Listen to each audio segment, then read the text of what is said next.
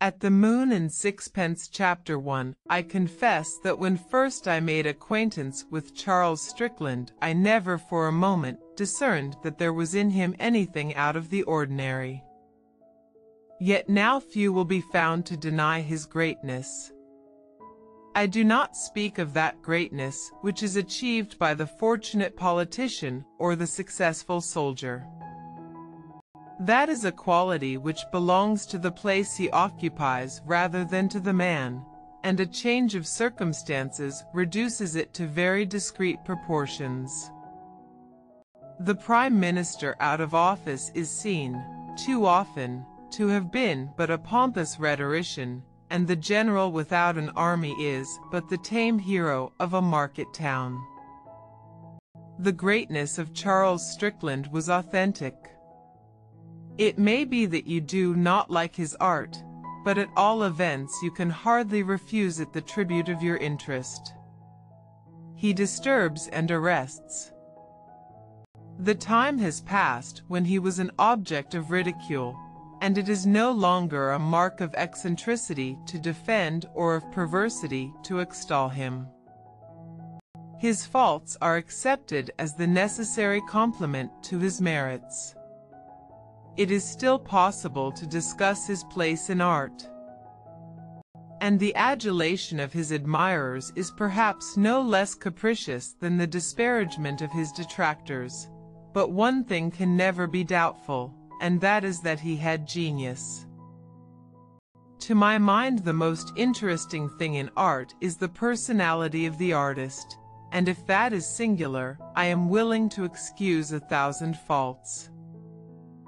I suppose Velasquez was a better painter than El Greco, but custom stales one's admiration for him, the Cretan, sensual and tragic.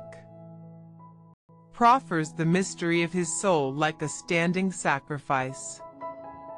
The artist, painter, poet, or musician, by his decoration, sublime or beautiful, satisfies the aesthetic sense. But that is akin to the sexual instinct, and shares its barbarity. He lays before you also the greater gift of himself. To pursue his secret has something of the fascination of a detective story. It is a riddle which shares with the universe the merit of having no answer.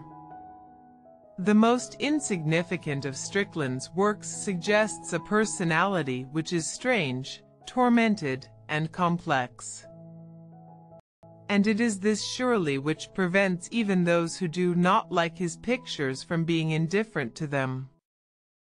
It is this which has excited so curious an interest in his life and character.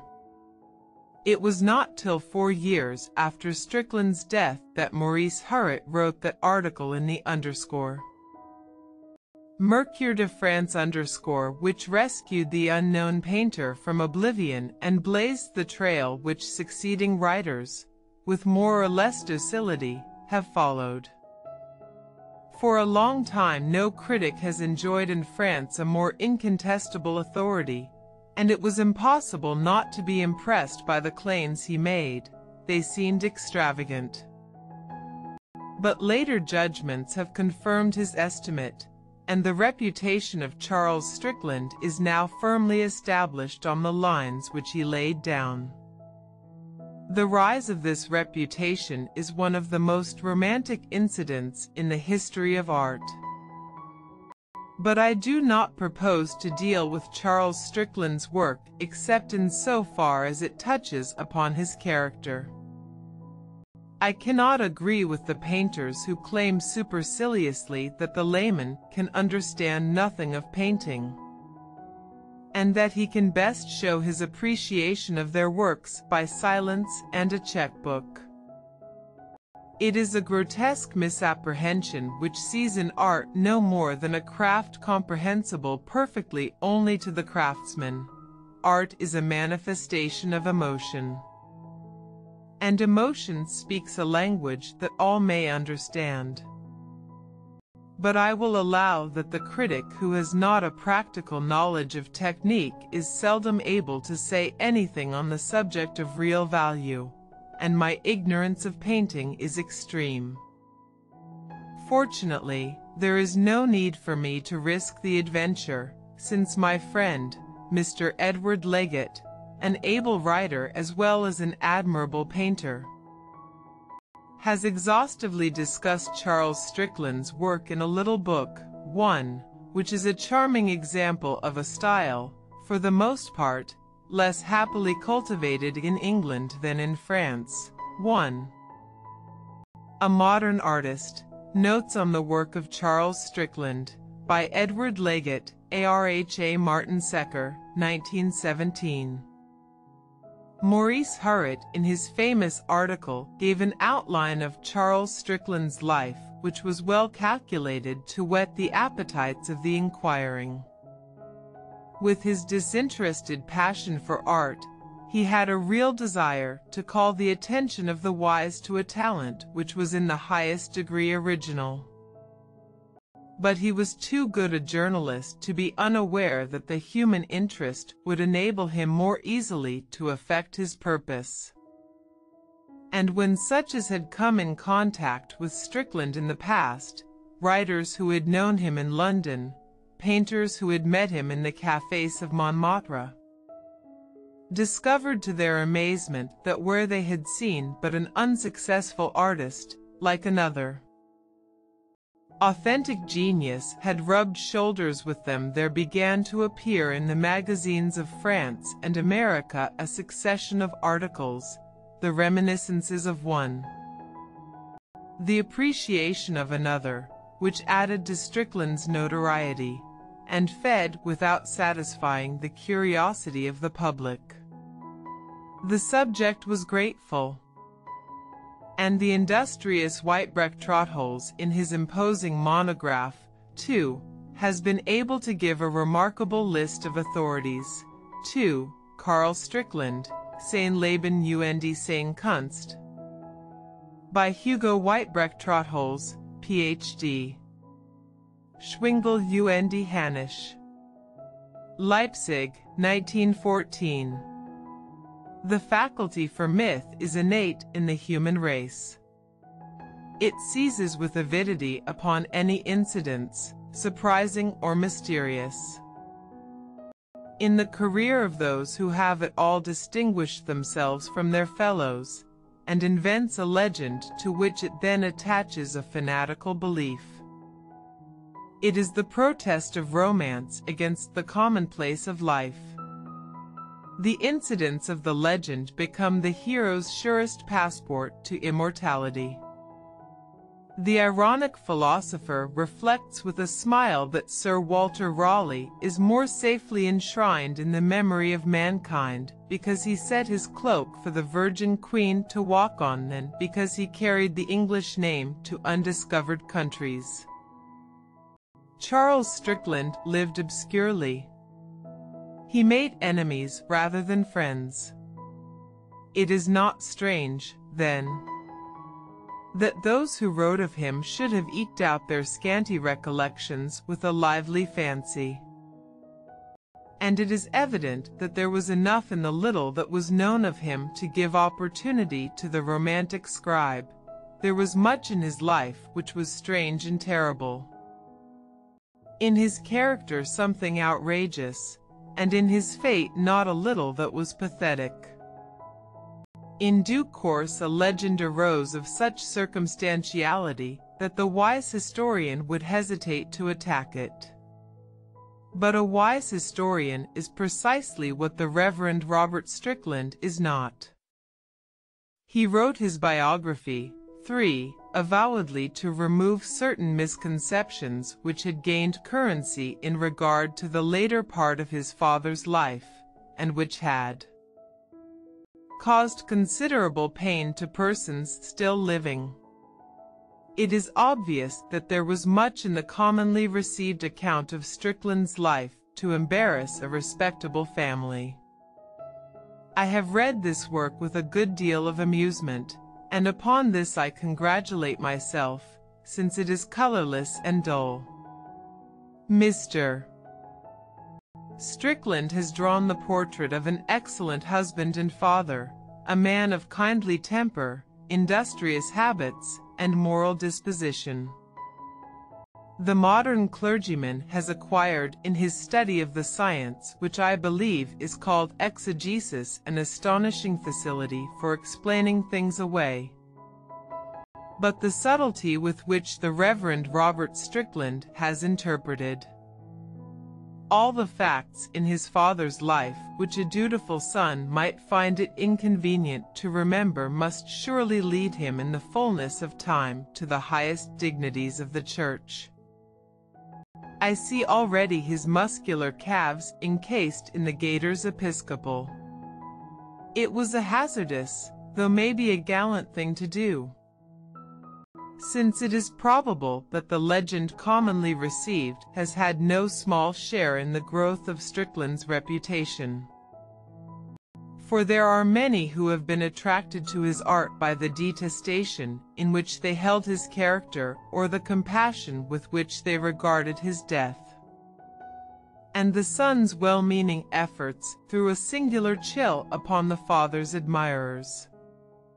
It is due to no accident that when one of his most important works, underscore the woman of Samaria, underscore comma, 4, was sold at Christie's shortly after the discussion which followed the publication of Mr. Strickland's biography.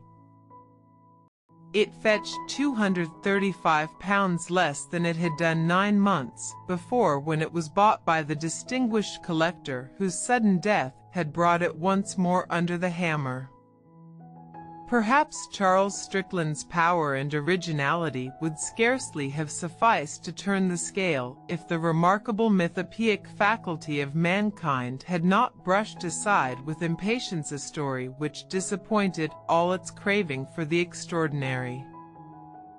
And presently Dr. Weitbrecht-Rotholz produced the work which finally set at rest the misgivings of all lovers of art. 3. Strickland, The Man and His Work, by his son, Robert Strickland. W.M. Heinemann, 1913. 4. This was described in Christie's catalogue as follows, A nude woman, a native of the Society Islands, is lying on the ground beside a brook. Behind is a tropical landscape with palm trees, bananas, etc. 60 inches. X 48 inches. Dr. Weitbrecht-Rotholz belongs to that school of historians which believes that human nature is not only about as bad as it can be, but a great deal worse.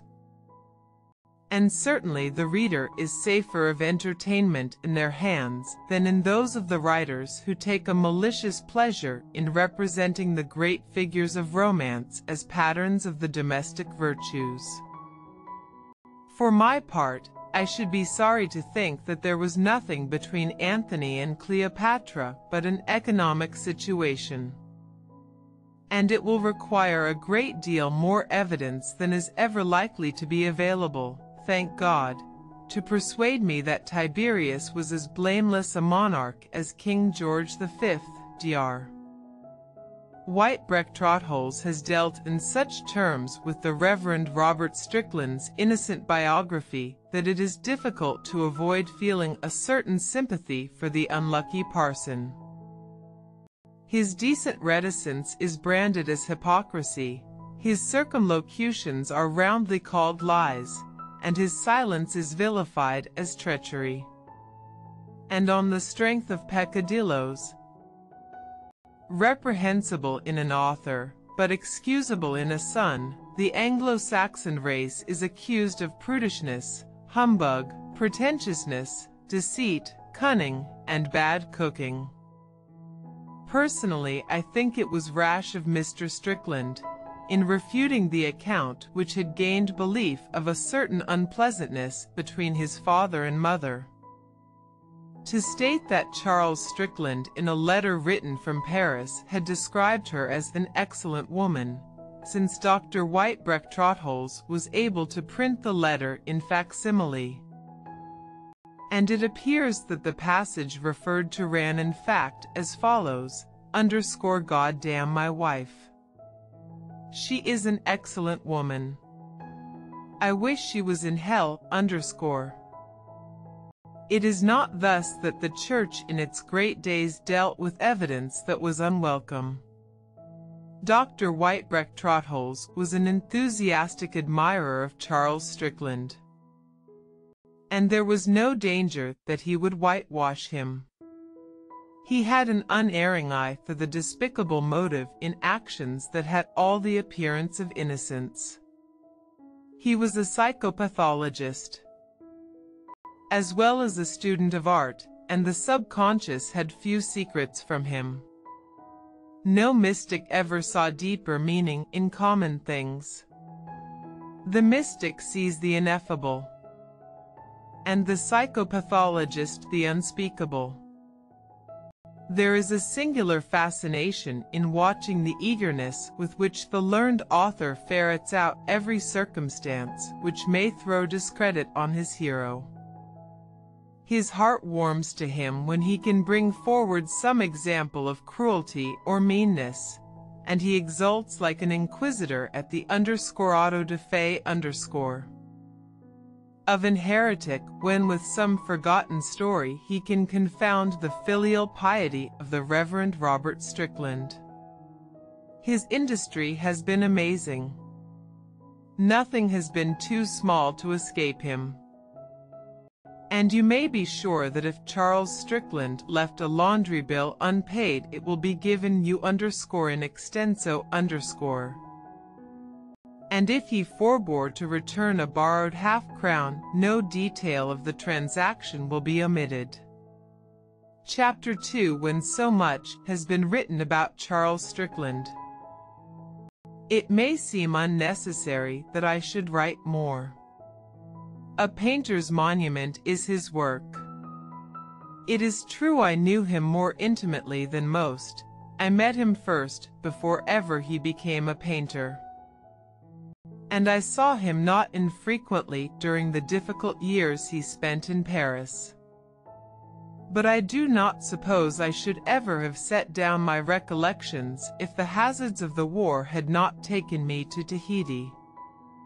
There, as is notorious, he spent the last years of his life. And there I came across persons who were familiar with him, I find myself in a position to throw light on just that part of his tragic career which has remained most obscure. If they who believe in Strickland's greatness are right, the personal narratives of such as knew him in the flesh can hardly be superfluous.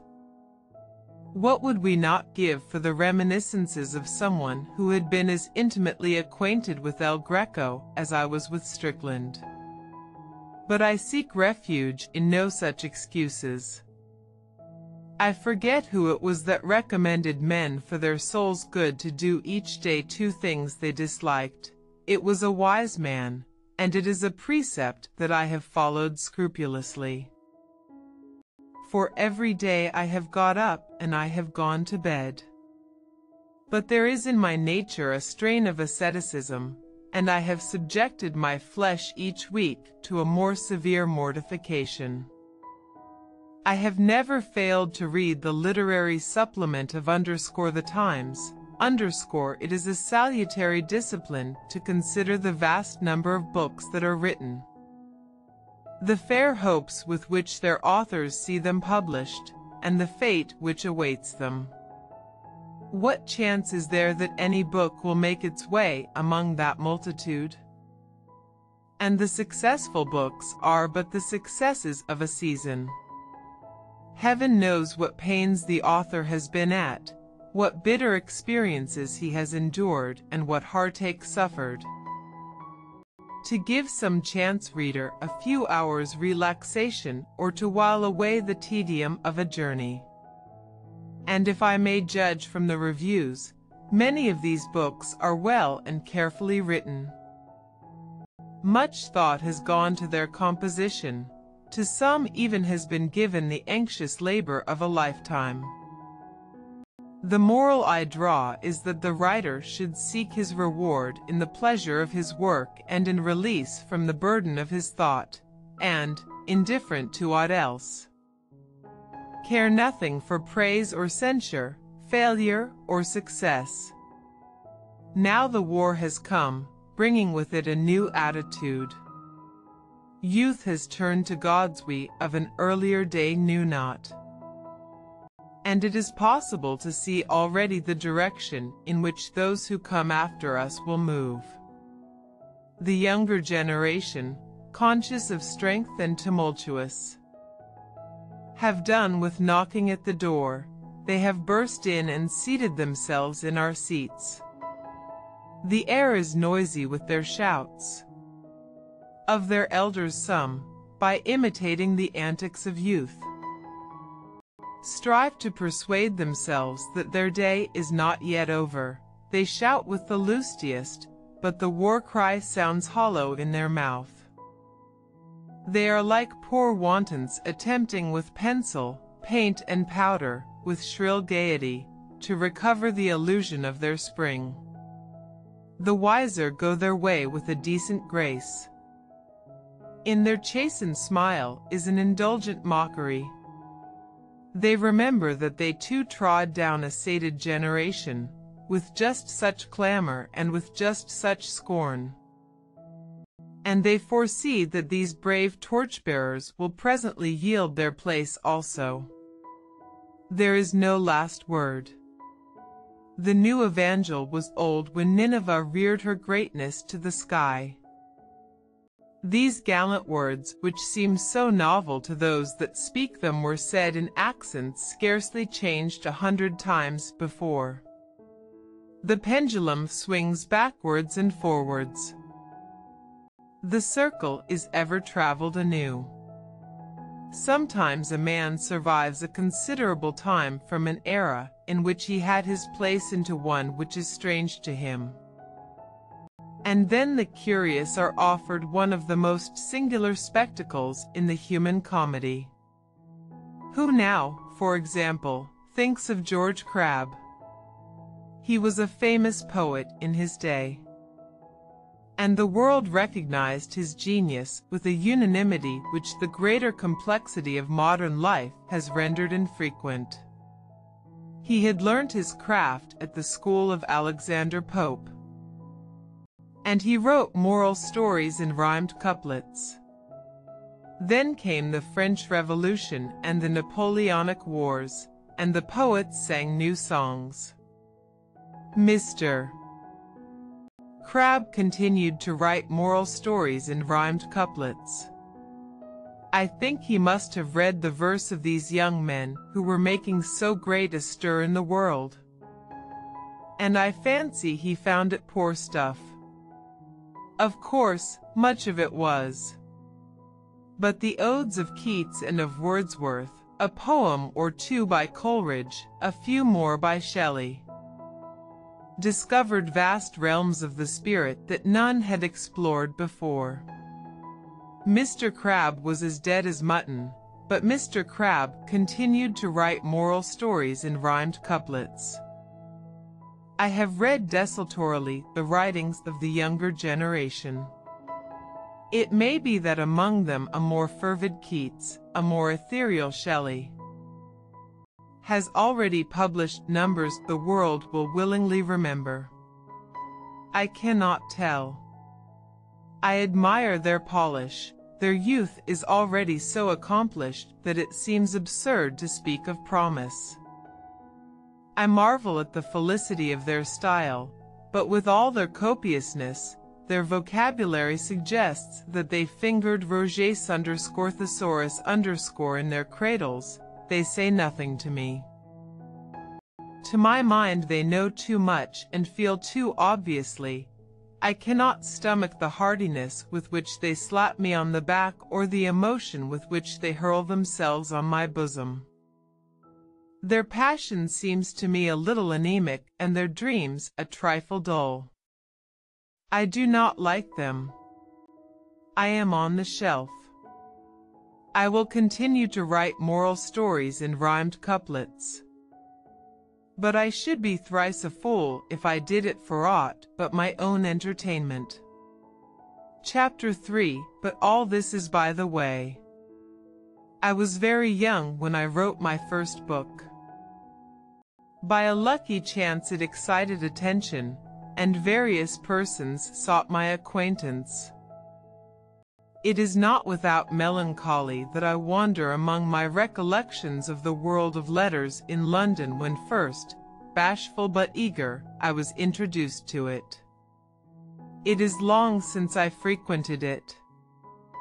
And if the novels that describe its present singularities are accurate much in it is now changed. The venue is different. Chelsea and Bloomsbury have taken the place of Hampstead. Notting Hill Gate and High Street, Kensington. Then it was a distinction to be under 40, but now to be more than 25 is absurd.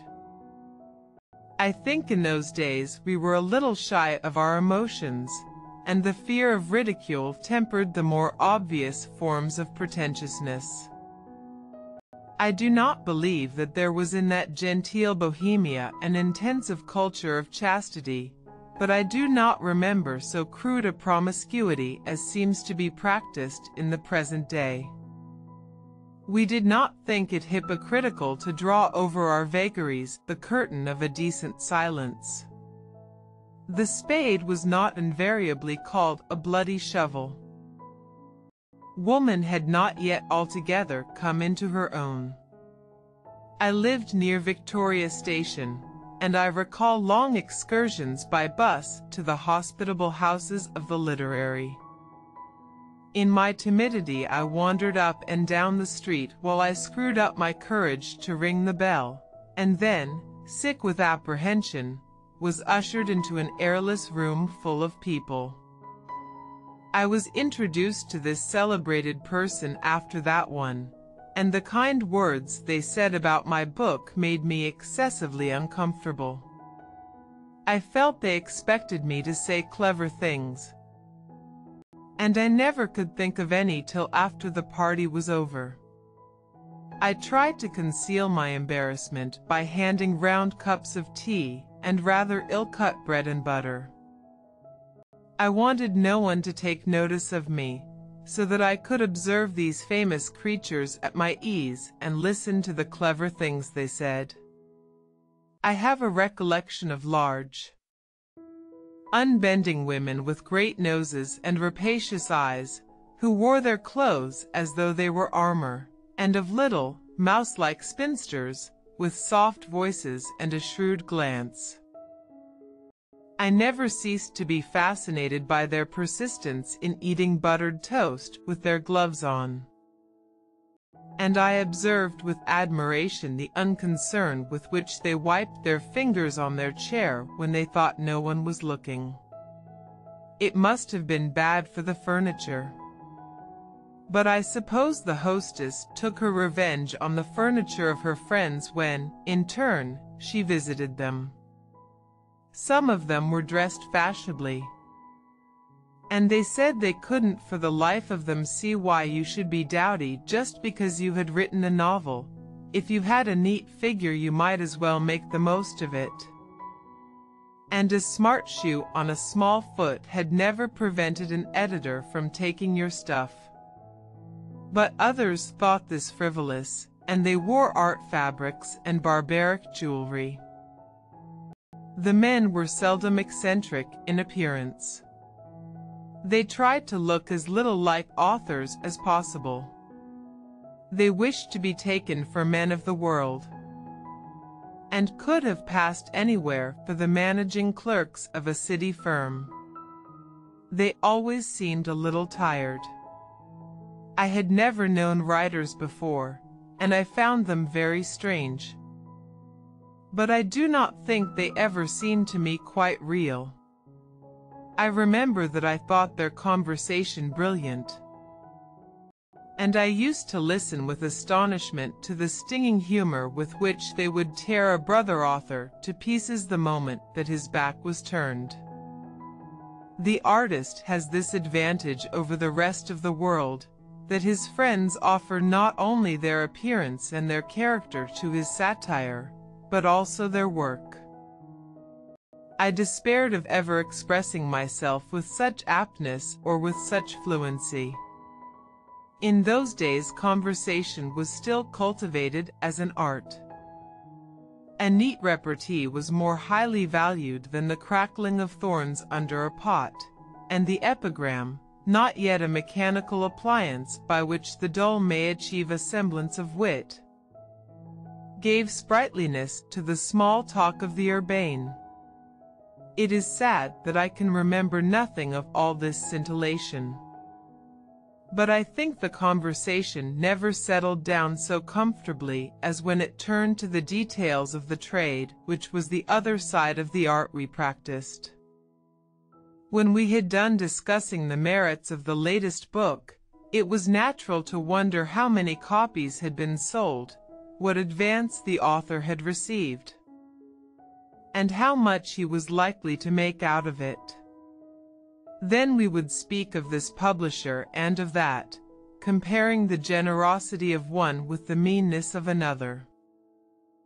We would argue whether it was better to go to one who gave handsome royalties or to another who pushed a book for all it was worth. Some advertised badly and some well.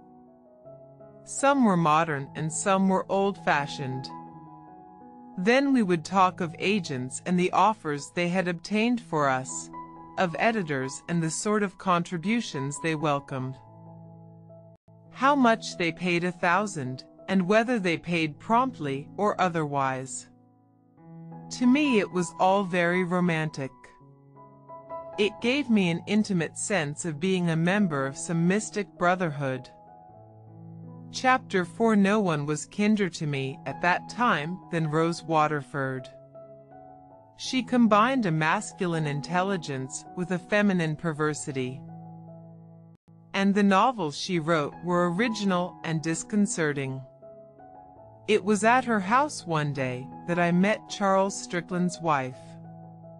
Miss Waterford was giving a tea party, and her small room was more than usually full. Everyone seemed to be talking, and I, sitting in silence, felt awkward. But I was too shy to break into any of the groups that seemed absorbed in their own affairs. Miss Waterford was a good hostess, and seeing my embarrassment came up to me. I want you to talk to Mrs. Strickland, she said. She's raving about your book. What does she do? I asked. I was conscious of my ignorance, and if Mrs. Strickland was a well-known writer, I thought it as well to ascertain the fact before I spoke to her. Rose Waterford cast down her eyes demurely to give greater effect to her reply. She gives luncheon parties. You've only got to roar a little, and she'll ask you. Rose Waterford was a cynic. She looked upon life as an opportunity for writing novels and the public as her raw material. Now and then she invited members of it to her house if they showed an appreciation of her talent and entertained with proper lavishness. She held their weakness for lions in good-humored contempt, but played to them her part of the distinguished woman of letters with decorum. I was led up to Mrs. Strickland, and for ten minutes we talked together. I noticed nothing about her except that she had a pleasant voice. She had a flat in Westminster, overlooking the unfinished cathedral and because we lived in the same neighborhood, we felt friendly disposed to one another. The Army and Navy stores are a bond of union between all who dwell between the river and stay. James's Park Mrs. Strickland asked me for my address, and a few days later I received an invitation to luncheon. My engagements were few, and I was glad to accept when I arrived. A little late, because in my fear of being too early I had walked three times round the cathedral, I found the party already complete. Miss Waterford was there and Mrs. Jay Richard Twining and George Road. We were all writers. It was a fine day, early in spring, and we were in a good humor. We talked about a hundred things. Miss Waterford, torn between the aestheticism of her early youth, when she used to go to parties in sage green, holding a daffodil, and the flippancy of her maturer years, which tended to high heels and Paris frocks, wore a new hat. It put her in high spirits. I had never heard her more malicious about our common friends. Mrs. Jay Aware that impropriety is the soul of wit, made observations in tones hardly above a whisper that might well have tinged the snowy tablecloth with a rosy hue. Richard Twining bubbled over with quaint absurdities, and George Road, conscious that he need not exhibit a brilliancy which was almost a byword, opened his mouth only to put food into it. Mrs. Strickland did not talk much, but she had a pleasant gift for keeping the conversation general. And when there was a pause she threw in just the right remark to set it going once more. She was a woman of 37, rather tall and plump, without being fat, she was not pretty. But her face was pleasing, chiefly, perhaps, on account of her kind brown eyes. Her skin was rather sallow. Her dark hair was elaborately dressed. She was the only woman of the three whose face was free of makeup and by contrast with the others she seemed simple and unaffected. The dining room was in the good taste of the period. It was very severe. There was a high dado of white wood and a green paper on which were etchings by Whistler in neat black frames. The green curtains with their peacock design hung in straight lines, and the green carpet, in the pattern of which pale rabbits frolicked among leafy trees, suggested the influence of William Morris. There was blue delft on the chimney piece.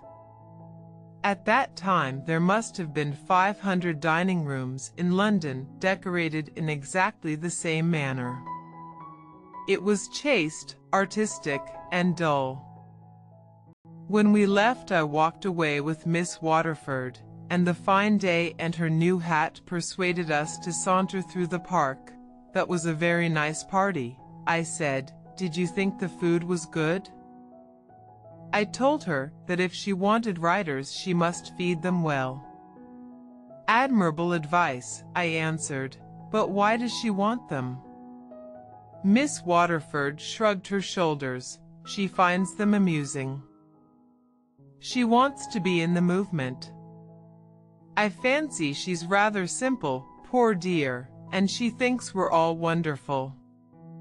After all, it pleases her to ask us to luncheon, and it doesn't hurt us. I like her for it. Looking back, I think that Mrs. Strickland was the most harmless of all the lion hunters that pursue their quarry from the rarefied heights of Hampstead to the nethermost studios of Cheyne Walk. She had led a very quiet youth in the country, and the books that came down from Mudie's library brought with them not only their own romance, but the romance of London. She had a real passion for reading, rare in her kind, who for the most part are more interested in the author than in his book, in the painter than in his pictures. And she invented a world of the imagination in which she lived with a freedom she never acquired in the world of every day. When she came to know writers it was like adventuring upon a stage which till then she had known only from the other side of the footlights. She saw them dramatically, and really seemed herself to live a larger life because she entertained them and visited them in their fastnesses. She accepted the rules with which they played the game of life as valid for them, but never for a moment thought of regulating her own conduct in accordance with them. Their moral eccentricities, like their oddities of dress, their wild theories and paradoxes, were an entertainment which amused her, but had not the slightest influence on her convictions. Is there a Mr. Strickland? I asked, oh yes, he's something in the city. I believe he's a stockbroker. He's very dull. Are they good friends? They adore one another. You'll meet him if you dine there. But she doesn't often have people to dinner. He's very quiet. He's not in the least interested in literature or the arts. Why do nice women marry dull men? Because intelligent men won't marry nice women. I could not think of any retort to this, so I asked if Mrs. Strickland had children. Yes. She has a boy and a girl. They're both at school. The subject was exhausted, and we began to talk of other things. Chapter 5 During the summer I met Mrs. Strickland not infrequently. I went now and then to pleasant little luncheons at her flat, and to rather more formidable tea parties. We took a fancy to one another. I was very young. And perhaps she liked the idea of guiding my virgin steps on the hard road of letters, while for me it was pleasant to have someone I could go to with my small troubles. Certain of an attentive ear and reasonable counsel. Mrs. Strickland had the gift of sympathy. It is a charming faculty, but one often abused by those who are conscious of its possession. For there is something ghoulish in the avidity with which they will pounce upon the misfortune of their friends so that they may exercise their dexterity. It gushes forth like an oil well, and the sympathetic pour out their sympathy with an abandon that is sometimes embarrassing to their victims. There are bosoms on which so many tears have been shed that I cannot bedew them with mine. Mrs. Strickland used her advantage with tact. You felt that you obliged her by accepting her sympathy. When, in the enthusiasm of my youth, I remarked on this to Rose Waterford, she said, milk is very nice. Especially with a drop of brandy in it but the domestic cow is only too glad to be rid of it. A swollen udder is very uncomfortable. Rose Waterford had a blistering tongue. No one could say such bitter things. On the other hand, no one could do more charming ones. There was another thing I liked in Mrs. Strickland. She managed her surroundings with elegance. Her flat was always neat and cheerful, gay with flowers, and the chintzes in the drawing room, notwithstanding their severe design, were bright and pretty. The meals in the artistic little dining room were pleasant, the table looked nice, the two maids were trim and comely, the food was well cooked. It was impossible not to see that Mrs. Strickland was an excellent housekeeper. And you felt sure that she was an admirable mother. There were photographs in the drawing room of her son and daughter. The son, his name was Robert, was a boy of 16 at Rugby, and you saw him in flannels and a cricket cap, and again in a tailcoat and a stand-up collar. He had his mother's candid brow and fine, reflective eyes. He looked clean, healthy, and normal. I don't know that he's very clever, she said one day, when I was looking at the photograph, but I know he's good. He has a charming character.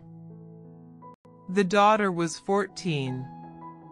Her hair, thick and dark like her mother's, fell over her shoulders in fine profusion, and she had the same kindly expression and sedate, untroubled eyes. They're both of them the image of you, I said, yes, I think they are more like me than their father. Why have you never let me meet him?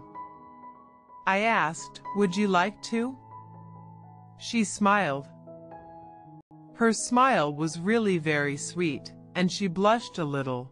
It was singular that a woman of that age should flush so readily. Perhaps her naivete was her greatest charm, you know. He's not at all literary, she said, he's a perfect Philistine. She said this not disparagingly, but affectionately rather, as though, by acknowledging the worst about him. She wished to protect him from the aspersions of her friends. He's on the stock exchange, and he's a typical broker. I think he bore you to death. Does he bore you? I asked, you see. I happen to be his wife. I'm very fond of him. She smiled to cover her shyness and I fancied she had a fear that I would make the sort of jibe that such a confession could hardly have failed to elicit from Rose Waterford. She hesitated a little. Her eyes grew tender. He doesn't pretend to be a genius. He doesn't even make much money on the stock exchange. But he's awfully good and kind. I think I should like him very much. I'll ask you to dine with us quietly sometime, but mind, you come at your own risk. Don't blame me if you have a very dull evening. Chapter 6 But when at last I met Charles Strickland, it was under circumstances which allowed me to do no more than just make his acquaintance. One morning Mrs. Strickland sent me round a note to say that she was giving a dinner party that evening, and one of her guests had failed her. She asked me to stop the gap. She wrote, It's only decent to warn you that you will be bored to extinction. It was a thoroughly dull party from the beginning, but if you will come I shall be uncommonly grateful and you and I can have a little chat by ourselves. It was only neighborly to accept. When Mrs. Strickland introduced me to her husband, he gave me a rather indifferent hand to shake. Turning to him gaily, she attempted a small jest. I asked him to show him that I really had a husband. I think he was beginning to doubt it. Strickland gave the polite little laugh with which people acknowledge a facetiousness in which they see nothing funny, but did not speak. New arrivals claimed my host's attention, and I was left to myself. When at last we were all assembled, waiting for dinner to be announced, I reflected, while I chatted with the woman I had been asked to take in. That civilized man practices a strange ingenuity in wasting on tedious exercises the brief span of his life. It was the kind of party which makes you wonder why the hostess has troubled to bid her guests, and why the guests have troubled to come.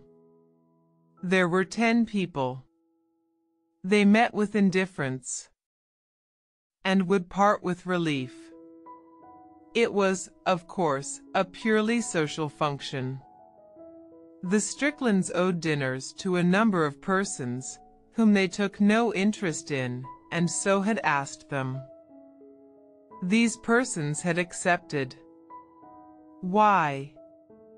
To avoid the tedium of dining underscore tete-a-tete underscore, to give their servants a rest, because there was no reason to refuse, because they were owed a dinner.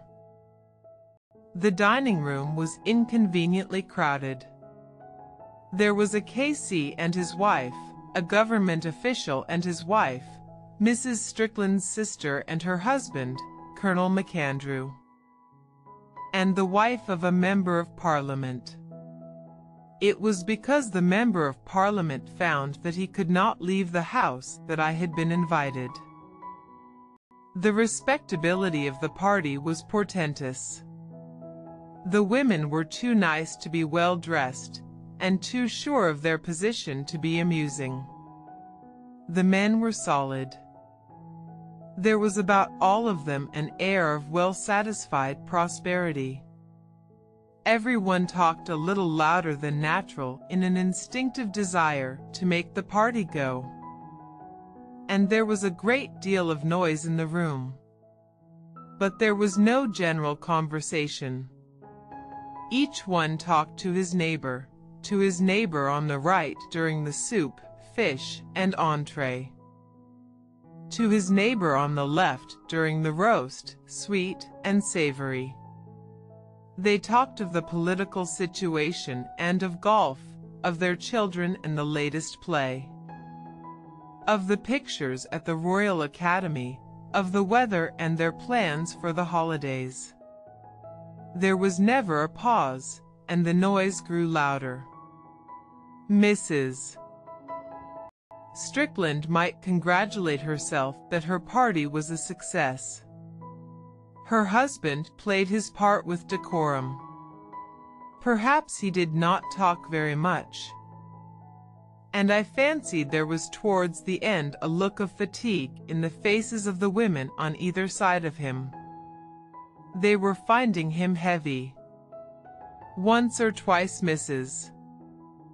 Strickland's eyes rested on him somewhat anxiously. At last she rose and shepherded the ladies out of one room. Strickland shut the door behind her, and, moving to the other end of the table, took his place between the K.C. and the government official. He passed round the port again and handed us cigars. The K.C. remarked on the excellence of the wine, and Strickland told us where he got it. We began to chat about vintages and tobacco. The K.C. told us of a case he was engaged in. And the Colonel talked about polo. I had nothing to say and so sat silent, trying politely to show interest in the conversation. And because I thought no one was in the least concerned with me, examined Strickland at my ease. He was bigger than I expected. I do not know why I had imagined him slender and of insignificant appearance. In point of fact he was broad and heavy, with large hands and feet, and he wore his evening clothes clumsily. He gave you somewhat the idea of a coachman dressed up for the occasion. He was a man of forty, not good-looking, and yet not ugly, for his features were rather good. But they were all a little larger than life-size, and the effect was ungainly. He was clean-shaven, and his large face looked uncomfortably naked. His hair was reddish, cut very short and his eyes were small, blue or gray. He looked commonplace. I no longer wondered that Mrs. Strickland felt a certain embarrassment about him. He was scarcely a credit to a woman who wanted to make herself a position in the world of art and letters. It was obvious that he had no social gifts, but these a man can do without. He had no eccentricity even, to take him out of the common run. He was just a good, dull, honest, plain man. One would admire his excellent qualities, but avoid his company. He was null. He was probably a worthy member of society, a good husband and father, an honest broker, but there was no reason to waste one's time over him. Chapter 7 The season was drawing to its dusty end, and everyone I knew was arranging to go away. Mrs. Strickland was taking her family to the coast of Norfolk so that the children might have the sea and her husband golf. We said goodbye to one another and arranged to meet in the autumn. But on my last day in town, coming out of the stores, I met her with her son and daughter. Like myself, she had been making her final purchases before leaving London, and we were both hot and tired. I proposed that we should all go and eat ices in the park. I think Mrs. Strickland was glad to show me her children, and she accepted my invitation with alacrity. They were even more attractive than their photographs had suggested, and she was right to be proud of them. I was young enough for them not to feel shy. And they chattered merrily about one thing and another. They were extraordinarily nice, healthy young children. It was very agreeable under the trees. When in an hour they crowded into a cab to go home, I strolled idly to my club. I was perhaps a little lonely. And it was with a touch of envy that I thought of the pleasant family life of which I had had a glimpse. They seemed devoted to one another. They had little private jokes of their own which, unintelligible to the outsider, amused them enormously. Perhaps Charles Strickland was dull judged by a standard that demanded above all things verbal scintillation. But his intelligence was adequate to his surroundings, and that is a passport, not only to reasonable success, but still more to happiness. Mrs. Strickland was a charming woman. And she loved him. I pictured their lives, troubled by no untoward adventure, honest, decent, and, by reason of those two upstanding, pleasant children. So obviously destined to carry on the normal traditions of their race and station, not without significance. They would grow old insensibly, they would see their son and daughter come to years of reason, marry in due course, the one a pretty girl, future mother of healthy children, the other a handsome, manly fellow.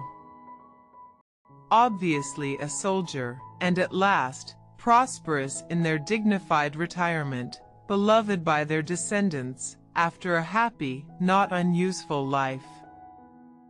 In the fullness of their age, they would sink into the grave. That must be the story of innumerable couples, and the pattern of life it offers has a homely grace. It reminds you of a placid rivulet, meandering smoothly through green pastures and shaded by pleasant trees, till at last it falls into the vasty sea. But the sea is so calm, so silent, so indifferent that you are troubled suddenly by a vague uneasiness.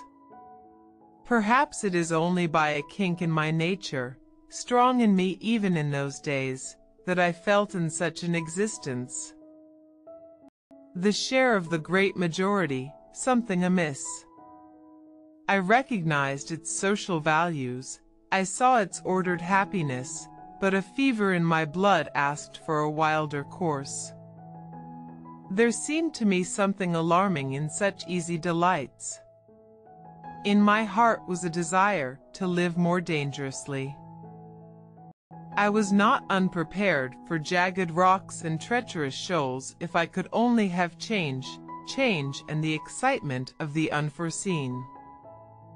Chapter 8 On reading over what I have written of the Stricklands, I am conscious that they must seem shadowy.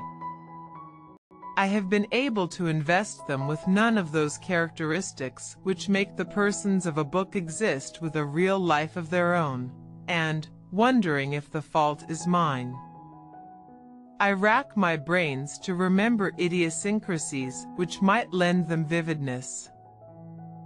I feel that by dwelling on some trick of speech or some queer habit, I should be able to give them a significance peculiar to themselves. As they stand they are like the figures in an old tapestry. They do not separate themselves from the background, and at a distance seem to lose their pattern. So that you have little but a pleasing piece of color. My only excuse is that the impression they made on me was no other. There was just that shadowiness about them which you find in people whose lives are part of the social organism, so that they exist in it and by it only. They are like cells in the body. Essential, but, so long as they remain healthy, engulfed in the momentous whole. The Stricklands were an average family in the middle class. A pleasant, hospitable woman with a harmless craze for the small lions of literary society, a rather dull man, doing his duty in that state of life in which a merciful providence had placed him, two nice looking. Healthy children. Nothing could be more ordinary. I do not know that there was anything about them to excite the attention of the curious. When I reflect on all that happened later, I ask myself if I was thick-witted not to see that there was in Charles Strickland at least something out of the common. Perhaps. I think that I have gathered in the years that intervened between then and now a fair knowledge of mankind. But even if when I first met the Stricklands I had the experience which I have now, I do not believe that I should have judged them differently.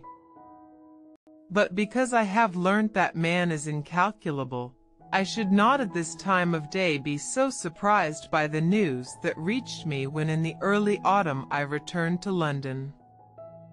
I had not been back 24 hours before I ran across Rose Waterford in Jermyn Street. You look very gay and sprightly. I said, What's the matter with you? She smiled, and her eyes shone with a malice I knew already. It meant that she had heard some scandal about one of her friends, and the instinct of the literary woman was all alert. You did meet Charles Strickland, didn't you? Not only her face, but her whole body, gave a sense of alacrity. I nodded. I wondered if the poor devil had been hammered on the stock exchange or run over by an omnibus. Isn't it dreadful? He's run away from his wife. Miss Waterford certainly felt that she could not do her subject justice on the curb of Jermyn Street, and so, like an artist, flung the bare fact at me and declared that she knew no details. I could not do her the injustice of supposing that so trifling a circumstance would have prevented her from giving them. But she was obstinate. I tell you I know nothing, she said, in reply to my agitated questions, and then, with an airy shrug of the shoulders. I believe that a young person in a city tea shop has left her situation. She flashed a smile at me, and, protesting an engagement with her dentist, jauntily walked on. I was more interested than distressed. In those days my experience of life at first hand was small. And it excited me to come upon an incident among people I knew of the same sort as I had read in books. I confess that time has now accustomed me to incidents of this character among my acquaintance. But I was a little shocked. Strickland was certainly forty. And I thought it disgusting that a man of his age should concern himself with affairs of the heart. With the superciliousness of extreme youth, I put 35 as the utmost limit at which a man might fall in love without making a fool of himself. And this news was slightly disconcerting to me personally. Because I had written from the country to Mrs. Strickland, announcing my return, and had added that unless I heard from her to the contrary, I would come on a certain day to drink a dish of tea with her. This was the very day, and I had received no word from Mrs. Strickland. Did she want to see me, or did she not?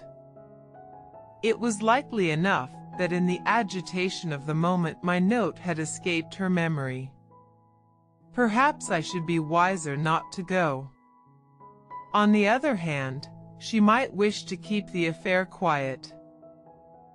And it might be highly indiscreet on my part to give any sign that this strange news had reached me. I was torn between the fear of hurting a nice woman's feelings and the fear of being in the way. I felt she must be suffering, and I did not want to see a pain which I could not help. But in my heart was a desire, that I felt a little ashamed of, to see how she was taking it. I did not know what to do. Finally it occurred to me that I would call as though nothing had happened and send a message in by the maid asking Mrs. Strickland if it was convenient for her to see me. This would give her the opportunity to send me away. But I was overwhelmed with embarrassment when I said to the maid the phrase I had prepared. And while I waited for the answer in a dark passage, I had to call up all my strength of mind not to bolt. The maid came back. Her manner suggested to my excited fancy a complete knowledge of the domestic calamity. Will you come this way, sir? she said. I followed her into the drawing room. The blinds were partly drawn to darken the room, and Mrs. Strickland was sitting with her back to the light. Her brother-in-law, Colonel MacAndrew, stood in front of the fireplace warming his back at an unlit fire. To myself my entrance seemed excessively awkward. I imagined that my arrival had taken them by surprise, and Mrs. Strickland had let me come in only because she had forgotten to put me off. I fancied that the colonel resented the interruption. I wasn't quite sure if you expected me, I said. Trying to seem unconcerned, of course I did. And we'll bring the tea in a minute. Even in the darkened room, I could not help seeing that Mrs. Strickland's face was all swollen with tears. Her skin, never very good, was earthy. You remember my brother-in-law, don't you? You met at dinner, just before the holidays. We shook hands. I felt so shy that I could think of nothing to say. But Mrs. Strickland came to my rescue. She asked me what I had been doing with myself during the summer, and with this help I managed to make some conversation till tea was brought in. The colonel asked for a whiskey and soda. You'd better have one too, Amy, he said. No, I prefer tea. This was the first suggestion that anything untoward had happened. I took no notice and did my best to engage Mrs. Strickland in talk. The colonel, still standing in front of the fireplace, uttered no word. I wondered how soon I could decently take my leave. And I asked myself why on earth Mrs. Strickland had allowed me to come. There were no flowers, and various knickknacks, put away during the summer, had not been replaced. There was something cheerless and stiff about the room which had always seemed so friendly. It gave you an odd feeling, as though someone were lying dead on the other side of the wall. I finished tea. Will you have a cigarette? asked Mrs. Strickland. She looked about for the box, but it was not to be seen. I'm afraid there are none. Suddenly she burst into tears and hurried from the room. I was startled. I suppose now that the lack of cigarettes, brought as a rule by her husband, forced him back upon her recollection. And the new feeling that the small comforts she was used to were missing gave her a sudden pang. She realized that the old life was gone and done with. It was impossible to keep up our social pretenses any longer. I dare say you'd like me to go, I said to the colonel, getting up. I suppose you've heard that Blackguard has deserted her. He cried explosively. I hesitated, you know how people gossip, I answered. I was vaguely told that something was wrong. He's bolted. He's gone off to Paris with a woman. He's left Amy without a penny. I'm awfully sorry, I said, not knowing what else to say. The colonel gulped down his whiskey. He was a tall, lean man of fifty, with a drooping mustache and gray hair. He had pale blue eyes and a weak mouth. I remembered from my previous meeting with him that he had a foolish face and was proud of the fact that for the 10 years before he left the army he had played polo three days a week. I don't suppose Mrs. Strickland wants to be bothered with me just now, I said. Will you tell her how sorry I am? If there's anything I can do, I shall be delighted to do it. He took no notice of me. I don't know what's to become of her. And then there are the children. Are they going to live on air? 17 years. What about 17 years? They've been married, he snapped. I never liked him. Of course he was my brother-in-law, and I made the best of it. Did you think him a gentleman? She ought never to have married him. Is it absolutely final? There's only one thing for her to do, and that's to divorce him. That's what I was telling her when you came in. Fire in with your petition, my dear Amy, I said. You owe it to yourself and you owe it to the children. He'd better not let me catch sight of him. I'd thrash him within an inch of his life. I could not help thinking that Colonel MacAndrew might have some difficulty in doing this, since Strickland had struck me as a hefty fellow. But I did not say anything. It is always distressing when outraged morality does not possess the strength of arm to administer direct chastisement on the sinner. I was making up my mind to another attempt at going when Mrs. Strickland came back. She had dried her eyes and powdered her nose. I'm sorry I broke down, she said. I'm glad you didn't go away.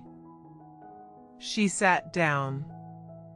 I did not at all know what to say.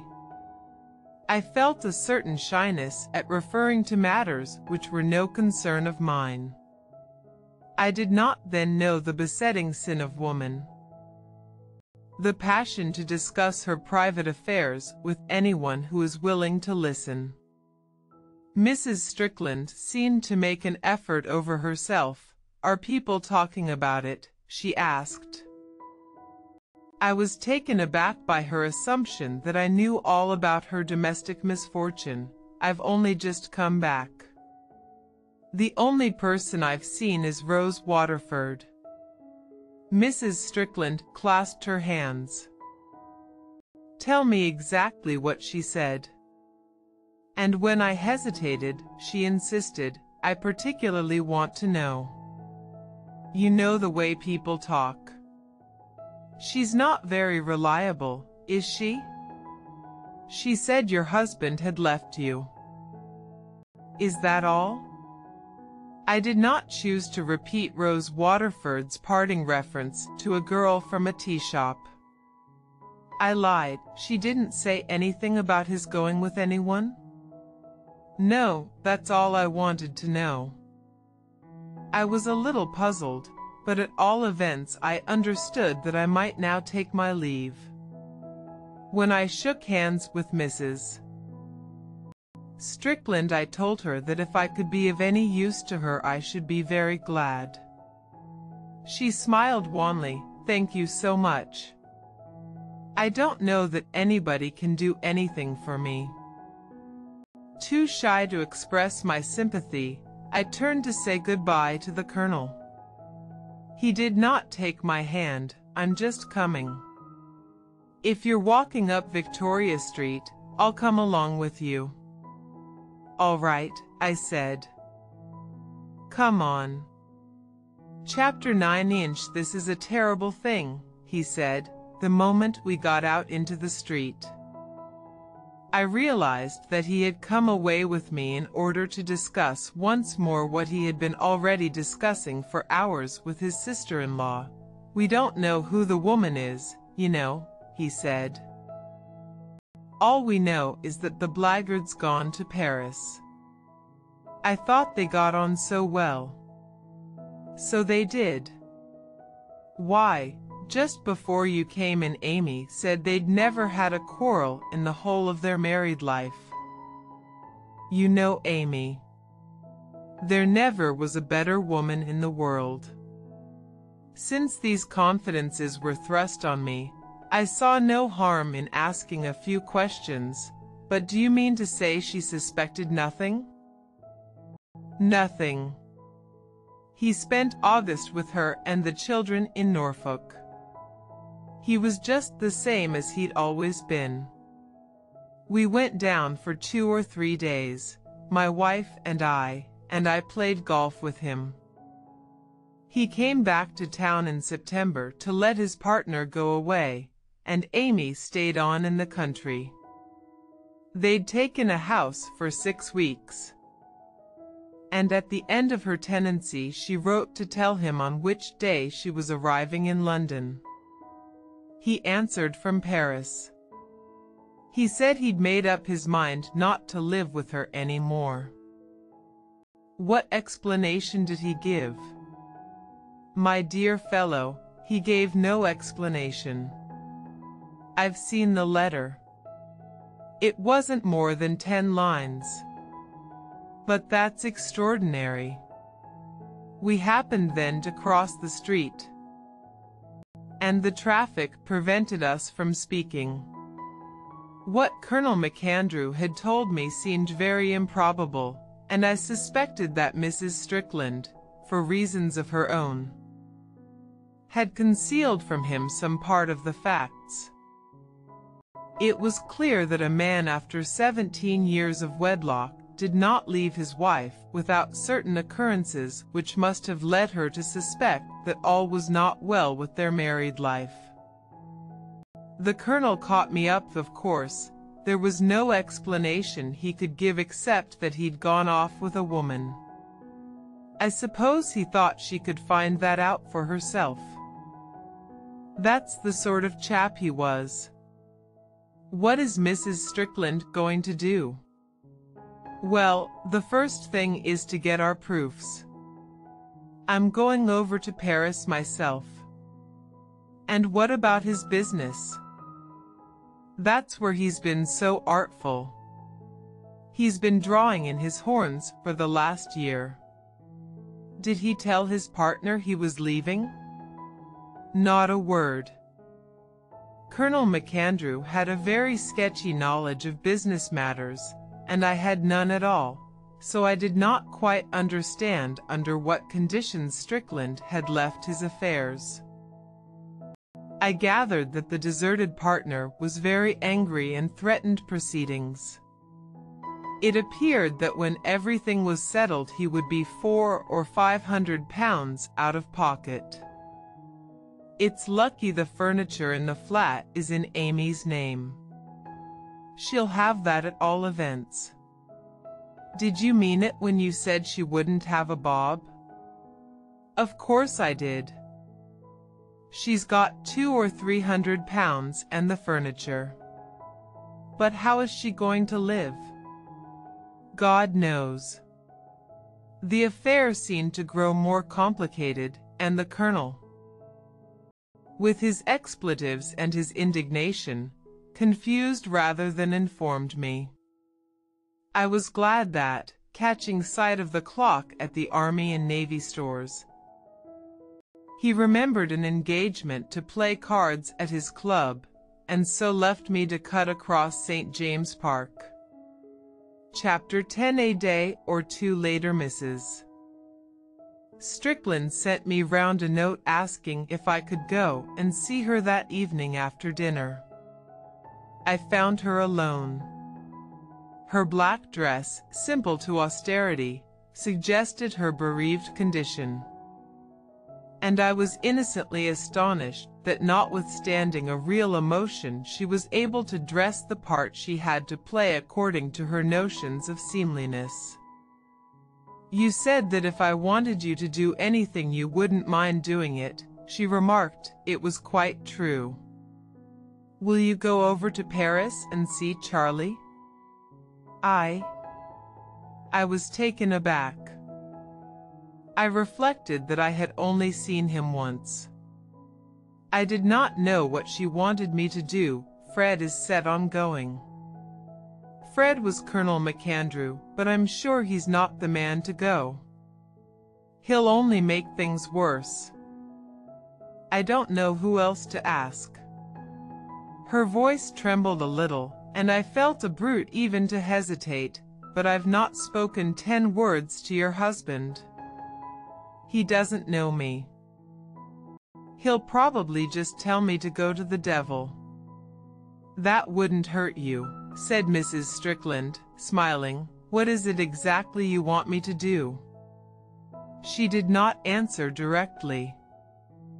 I think it's rather an advantage that he doesn't know you.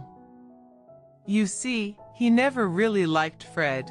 He thought him a fool. He didn't understand soldiers. Fred would fly into a passion. And there'd be a quarrel, and things would be worse instead of better. If you said you came on my behalf, he couldn't refuse to listen to you. I haven't known you very long, I answered. I don't see how anyone can be expected to tackle a case like this unless he knows all the details. I don't want to pry into what doesn't concern me. Why don't you go and see him yourself? You forget he isn't alone. I held my tongue. I saw myself calling on Charles Strickland and sending in my card. I saw him come into the room, holding it between finger and thumb. To what do I owe this honor? I've come to see you about your wife. Really. When you are a little older you will doubtless learn the advantage of minding your own business. If you will be so good as to turn your head slightly to the left, you will see the door. I wish you good afternoon. I foresaw that it would be difficult to make my exit with dignity. And I wished to goodness that I had not returned to London till Mrs. Strickland had composed her difficulties. I stole a glance at her. She was immersed in thought. Presently she looked up at me, sighed deeply, and smiled. It was all so unexpected, she said. We'd been married 17 years. I never dreamed that Charlie was the sort of man to get infatuated with anyone. We always got on very well together. Of course, I had a great many interests that he didn't share. Have you found out who I did not quite know how to express myself, who the person, who it is he's gone away with. No. No one seems to have an idea. It's so strange. Generally when a man falls in love with someone people see them about together, lunching or something, and her friends always come and tell the wife. I had no warning, nothing. His letter came like a thunderbolt. I thought he was perfectly happy. She began to cry, poor thing, and I felt very sorry for her. But in a little while she grew calmer. It's no good making a fool of myself, she said, drying her eyes. The only thing is to decide what is the best thing to do. She went on, talking somewhat at random, now of the recent past, then of their first meeting and their marriage, but presently I began to form a fairly coherent picture of their lives, and it seemed to me that my surmises had not been incorrect. Mrs. Strickland was the daughter of an Indian civilian, who on his retirement had settled in the depths of the country. But it was his habit every August to take his family to Eastbourne for change of air, and it was here, when she was 20, that she met Charles Strickland. He was 23. They played together, walked on the front together, listened together to the nigger minstrels, and she had made up her mind to accept him a week before he proposed to her. They lived in London, first in Hampstead, and then, as he grew more prosperous, in town. Two children were born to them. He always seemed very fond of them. Even if he was tired of me. I wonder that he had the heart to leave them. It's all so incredible. Even now I can hardly believe it's true. At last she showed me the letter he had written. I was curious to see it, but had not ventured to ask for it. My dear Amy, I think you will find everything all right in the flat. I have given Anne your instructions and dinner will be ready for you and the children when you come. I shall not be there to meet you. I have made up my mind to live apart from you, and I am going to Paris in the morning. I shall post this letter on my arrival. I shall not come back. My decision is irrevocable. Yours always, Charles Strickland. Not a word of explanation or regret. Don't you think it's inhuman? It's a very strange letter under the circumstances. I replied, there's only one explanation, and that is that he's not himself. I don't know who this woman is who's got hold of him. But she's made him into another man. It's evidently been going on a long time. What makes you think that? Fred found that out. My husband said he went to the club three or four nights a week to play bridge. Fred knows one of the members, and said something about Charles being a great bridge player. The man was surprised. He said he'd never even seen Charles in the card room. It's quite clear now that when I thought Charles was at his club he was with her. I was silent for a moment. Then I thought of the children. It must have been difficult to explain to Robert. I said, oh, I never said a word to either of them. You see, we only came up to town the day before they had to go back to school. I had the presence of mind to say that their father had been called away on business. It could not have been very easy to be bright and careless with that sudden secret in her heart, nor to give her attention to all the things that needed doing to get her children comfortably packed off. Mrs. Strickland's voice broke again. And what is to happen to them, poor darlings? How are we going to live? She struggled for self-control, and I saw her hands clench and unclench spasmodically. It was dreadfully painful. Of course I'll go over to Paris if you think I can do any good, but you must tell me exactly what you want me to do. I want him to come back. I understood from Colonel MacAndrew that you'd made up your mind to divorce him.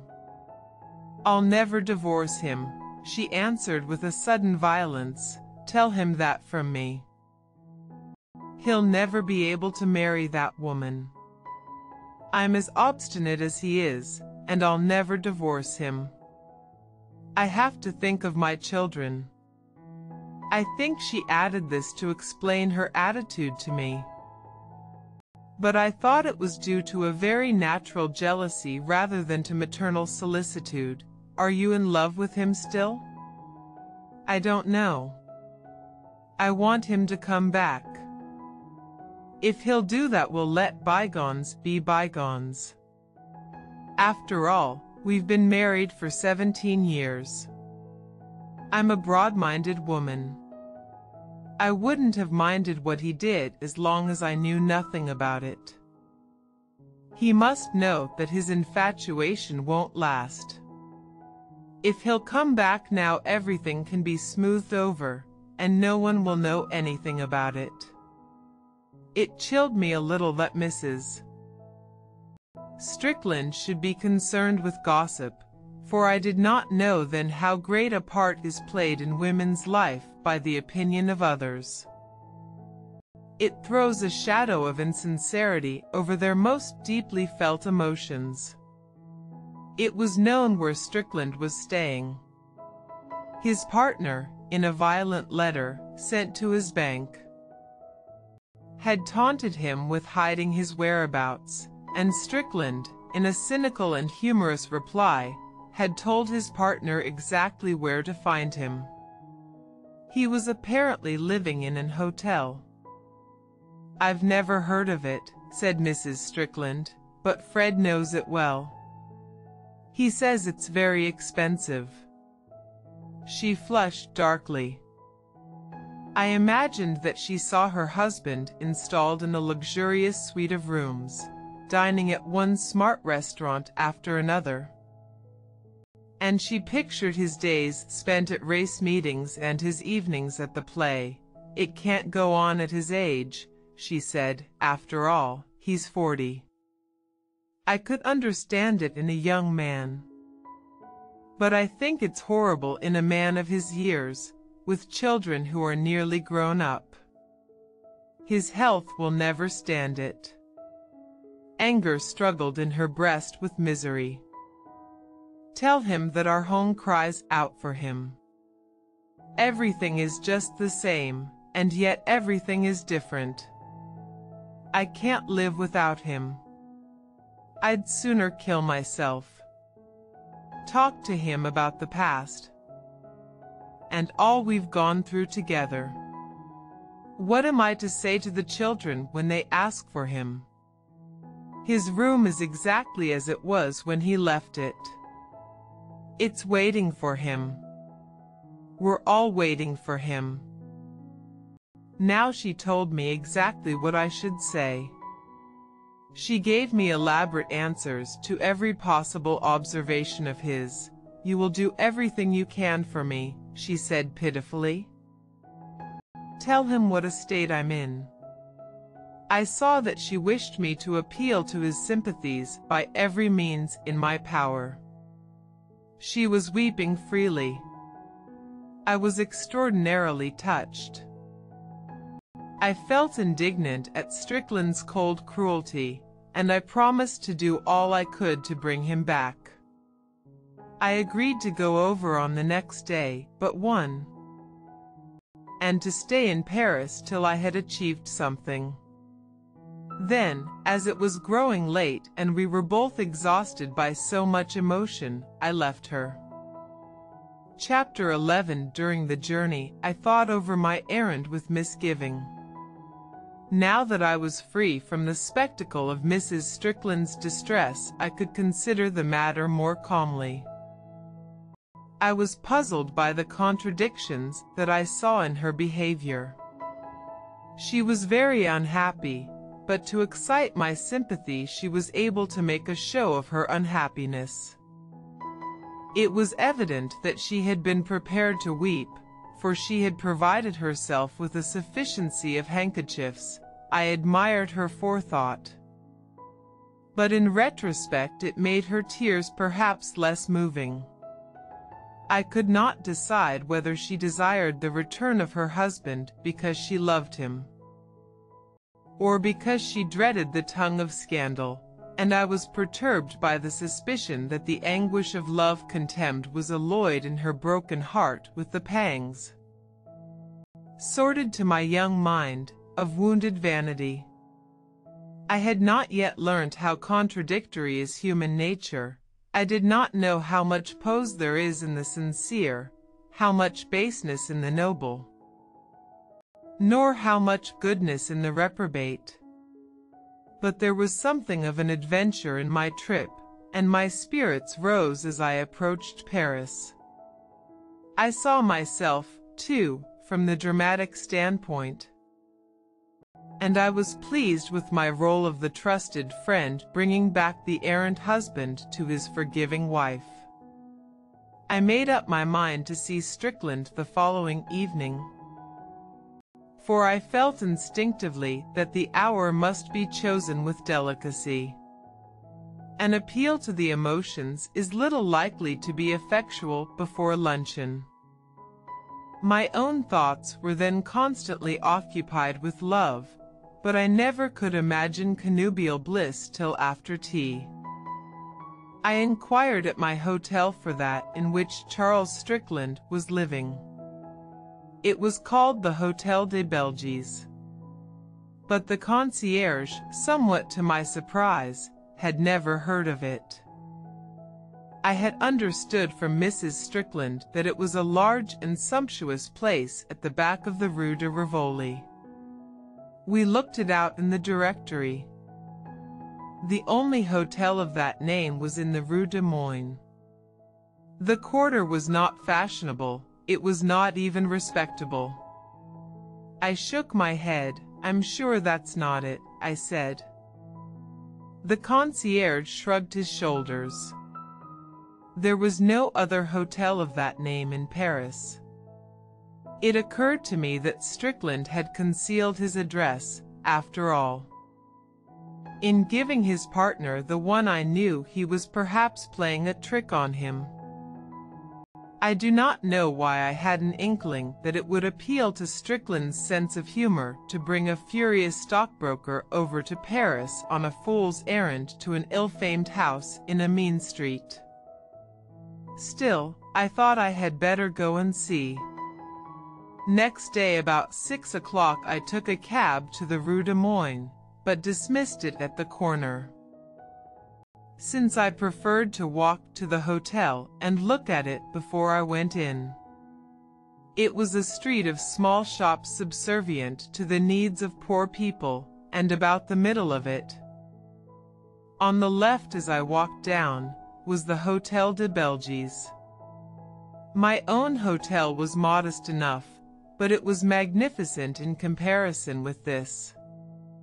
It was a tall, shabby building. That cannot have been painted for years, and it had so bedraggled an air that the houses on each side of it looked neat and clean. The dirty windows were all shut. It was not here that Charles Strickland lived in guilty splendor with the unknown charmer for whose sake he had abandoned honor and duty.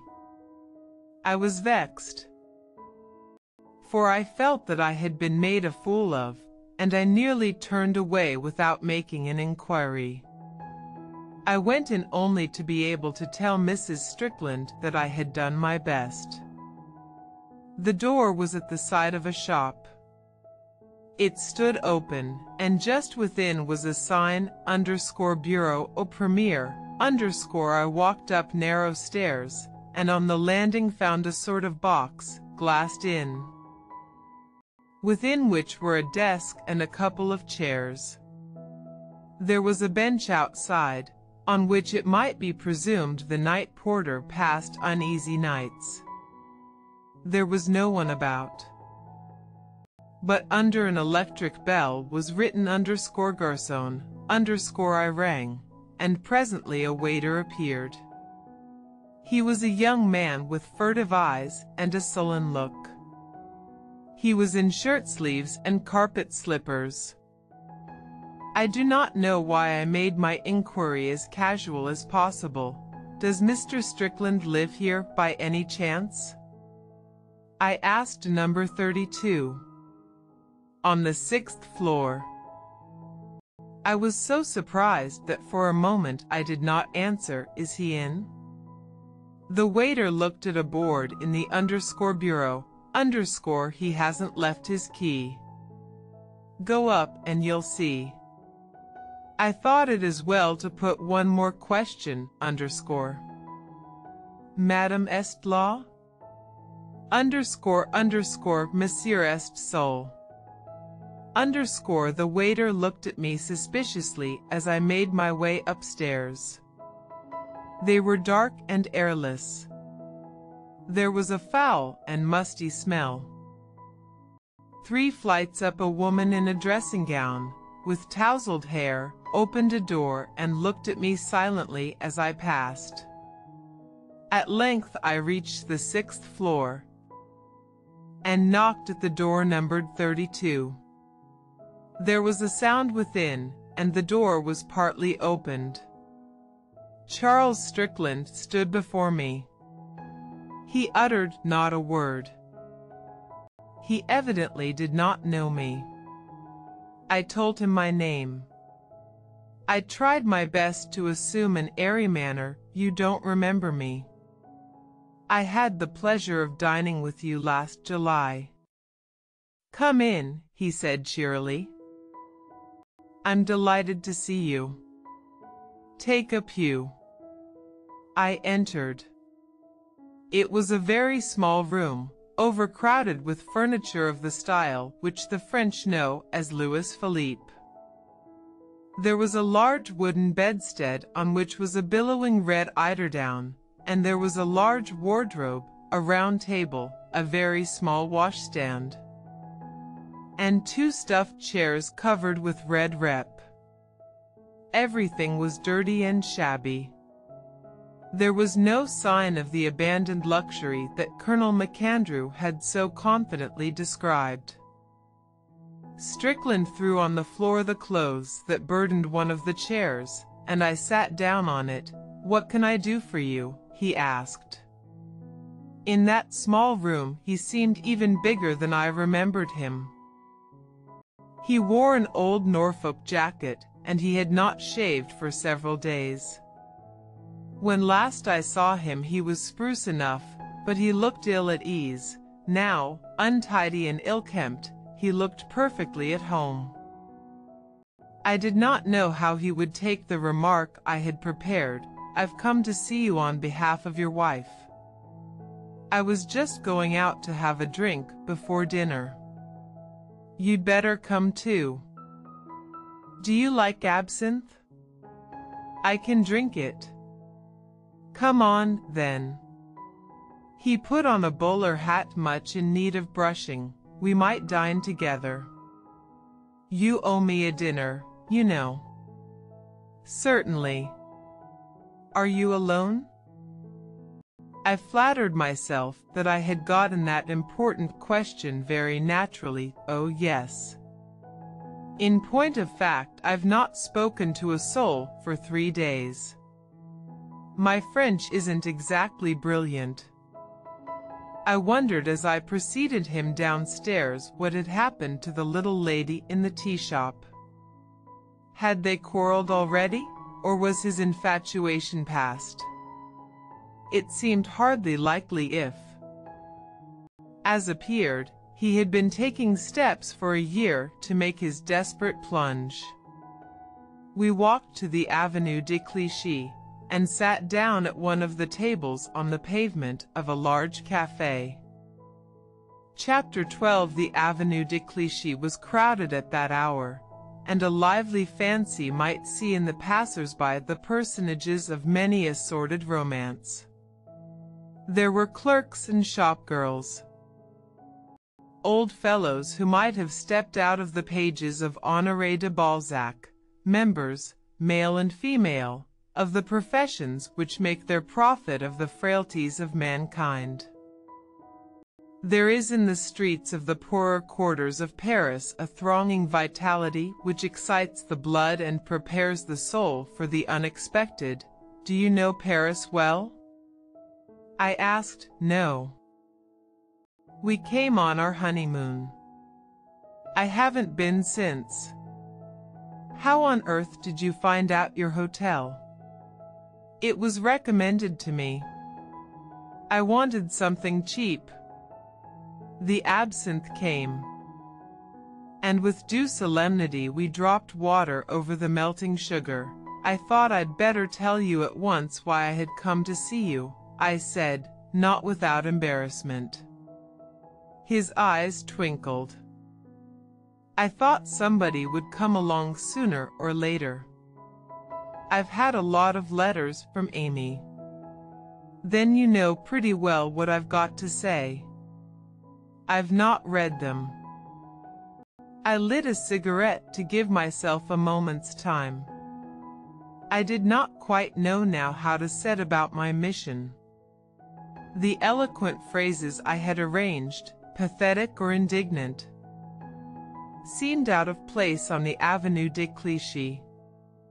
Suddenly he gave a chuckle, beastly job for you this, isn't it?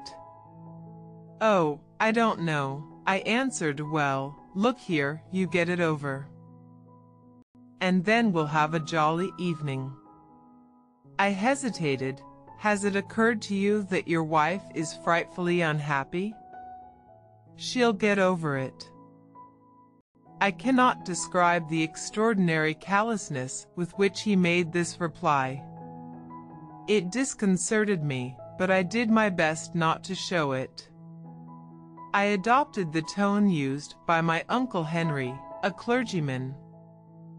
When he was asking one of his relatives for a subscription to the Additional Curates Society, you don't mind my talking to you frankly? He shook his head, smiling. Has she deserved that you should treat her like this? No, have you any complaint to make against her? None. Then, isn't it monstrous to leave her in this fashion? After 17 years of married life, without a fault to find with her? Monstrous. I glanced at him with surprise. His cordial agreement with all I said cut the ground from under my feet. It made my position complicated, not to say ludicrous. I was prepared to be persuasive, touching, and hortatory, admonitory and expostulating, if need be vituperative even. Indignant and sarcastic, but what the devil does a mentor do when the sinner makes no bones about confessing his sin? I had no experience. Since my own practice has always been to deny everything, what, then, asked Strickland. I tried to curl my lip. Well, if you acknowledge that, there doesn't seem much more to be said. I don't think there is. I felt that I was not carrying out my embassy with any great skill. I was distinctly nettled, hang it all, one can't leave a woman without a bob. Why not? How is she going to live? I've supported her for 17 years. Why shouldn't she support herself for a change? She can't. Let her try. Of course, there were many things I might have answered to this. I might have spoken of the economic position of woman, of the contract, tacit and overt, which a man accepts by his marriage, and of much else, but I felt that there was only one point which really signified, don't you care for her any more? Not a bit, he replied. The matter was immensely serious for all the parties concerned, but there was in the manner of his answer such a cheerful effrontery that I had to bite my lips in order not to laugh. I reminded myself that his behavior was abominable. I worked myself up into a state of moral indignation.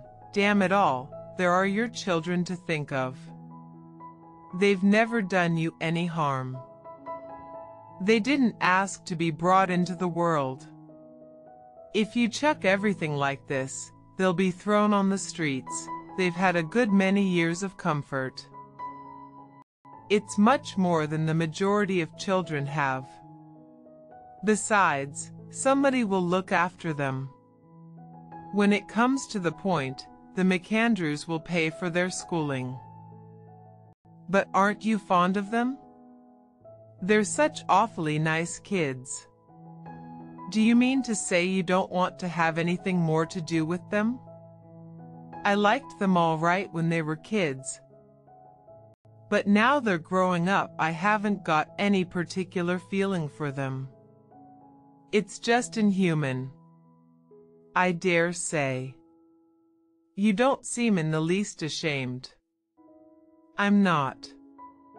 I tried another tack. Everyone will think you a perfect swine. Let them. Won't it mean anything to you to know that people loathe and despise you? No, his brief answer was so scornful that it made my question, natural though it was, seem absurd. I reflected for a minute or two. I wonder if one can live quite comfortably when one's conscious of the disapproval of one's fellows. Are you sure it won't begin to worry you? Everyone has some sort of a conscience, and sooner or later it will find you out. Supposing your wife died, wouldn't you be tortured by remorse? He did not answer, and I waited for some time for him to speak. At last I had to break the silence myself. What have you to say to that? Only that you're a damned fool. At all events, you can be forced to support your wife and children, I retorted, somewhat piqued. I suppose the law has some protection to offer them. Can the law get blood out of a stone? I haven't any money. I've got about a hundred pounds. I began to be more puzzled than before. It was true that his hotel pointed to the most straitened circumstances. What are you going to do when you've spent that? Earn some. He was perfectly cool, and his eyes kept that mocking smile which made all I said seem rather foolish. I paused for a little while to consider what I had better say next. But it was he who spoke first. Why doesn't Amy marry again? She's comparatively young, and she's not unattractive. I can recommend her as an excellent wife. If she wants to divorce me, I don't mind giving her the necessary grounds. Now it was my turn to smile. He was very cunning. But it was evidently this that he was aiming at. He had some reason to conceal the fact that he had run away with a woman, and he was using every precaution to hide her whereabouts. I answered with decision, your wife says that nothing you can do will ever induce her to divorce you. She's quite made up her mind. You can put any possibility of that definitely out of your head. He looked at me with an astonishment that was certainly not feigned. The smile abandoned his lips. And he spoke quite seriously, but, my dear fellow, I don't care. It doesn't matter a two-penny damn to me one way or the other. I laughed, oh, come now, you mustn't think us such fools as all that.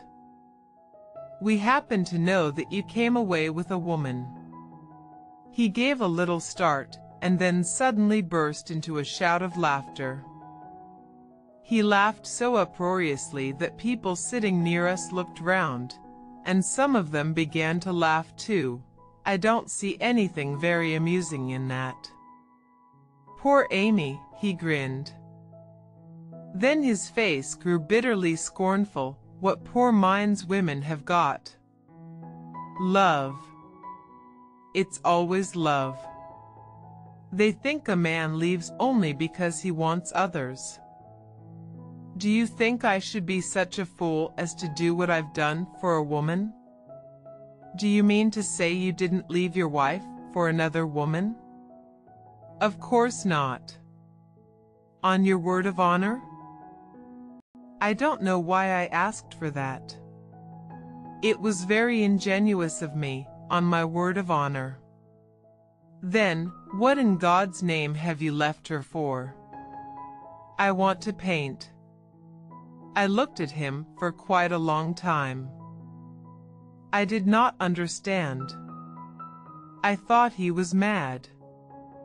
It must be remembered that I was very young, and I looked upon him as a middle-aged man. I forgot everything but my own amazement, but you're forty. That's what made me think it was high time to begin. Have you ever painted? I rather wanted to be a painter when I was a boy. But my father made me go into business because he said there was no money in art. I began to paint a bit a year ago. For the last year, I've been going to some classes at night. Was that where you went when Mrs. Strickland thought you were playing bridge at your club? That's it. Why didn't you tell her? I preferred to keep it to myself. Can you paint? Not yet. But I shall. That's why I've come over here. I couldn't get what I wanted in London. Perhaps I can here. Do you think it's likely that a man will do any good when he starts at your age? Most men begin painting at 18. I can learn quicker than I could when I was 18. What makes you think you have any talent? He did not answer for a minute.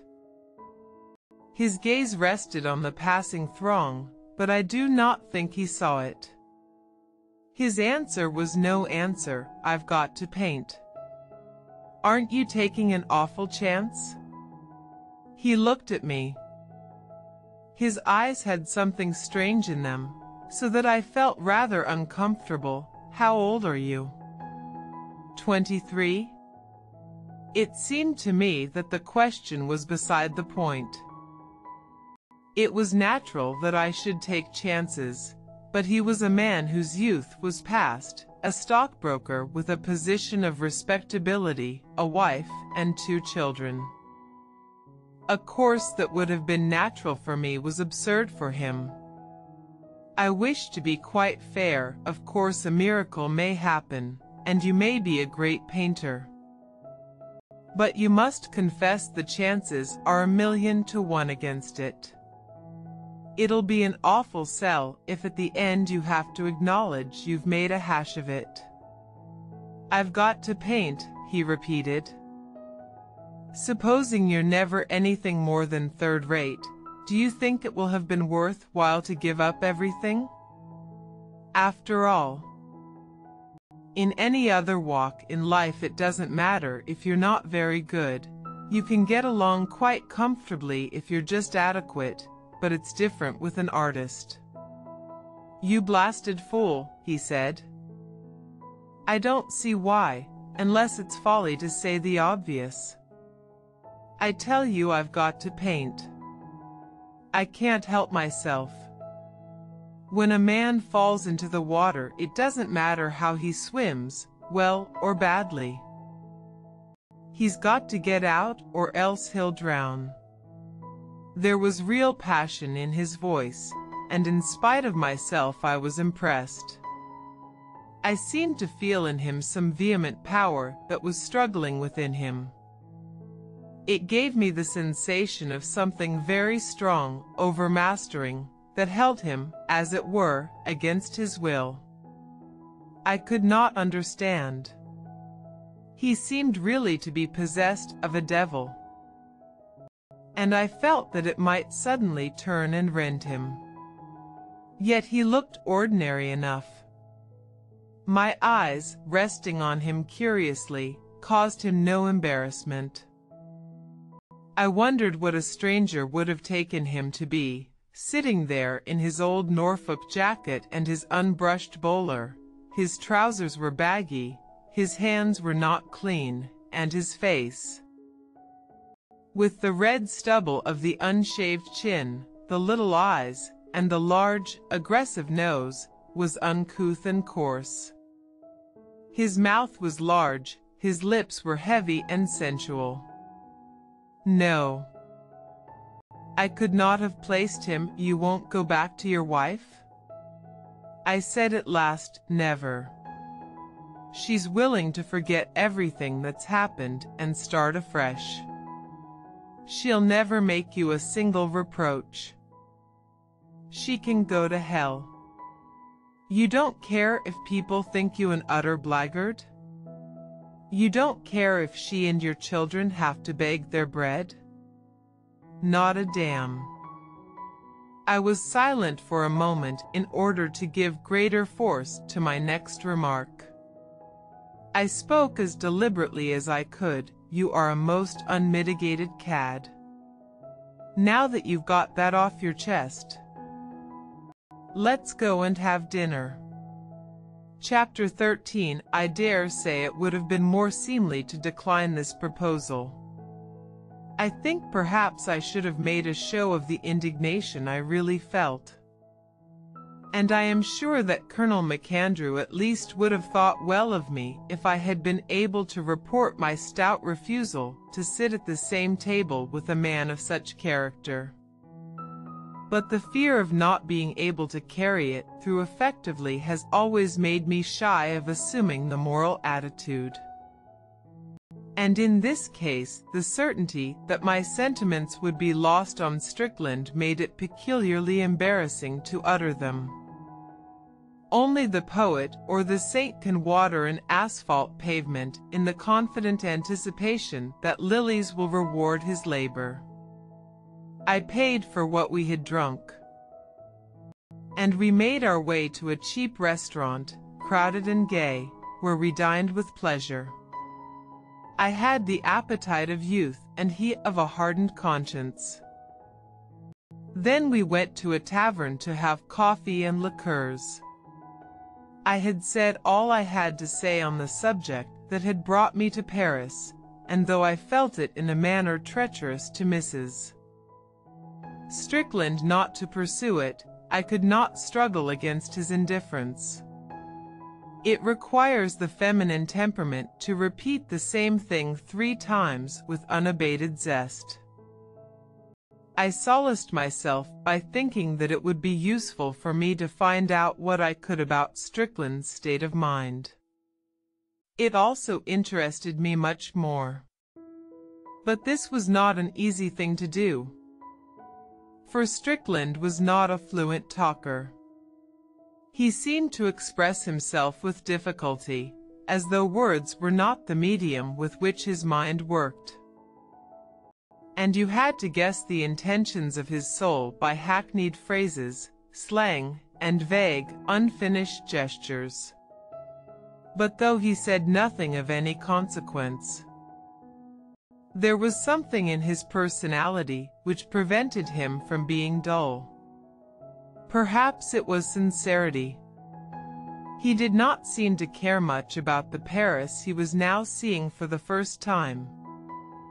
I did not count the visit with his wife, and he accepted sights which must have been strange to him without any sense of astonishment. I have been to Paris a hundred times and it never fails to give me a thrill of excitement. I can never walk its streets without feeling myself on the verge of adventure. Strickland remained placid. Looking back, I think now that he was blind to everything but to some disturbing vision in his soul. One rather absurd incident took place. There were a number of harlots in the tavern. Some were sitting with men, others by themselves, and presently I noticed that one of these was looking at us. When she caught Strickland's eye she smiled. I do not think he saw her. In a little while she went out, but in a minute returned and, passing our table, very politely asked us to buy her something to drink. She sat down and I began to chat with her, but it was plain that her interest was in Strickland. I explained that he knew no more than two words of French. She tried to talk to him, partly by signs, partly in pidgin French, which, for some reason, she thought would be more comprehensible to him, and she had half a dozen phrases of English.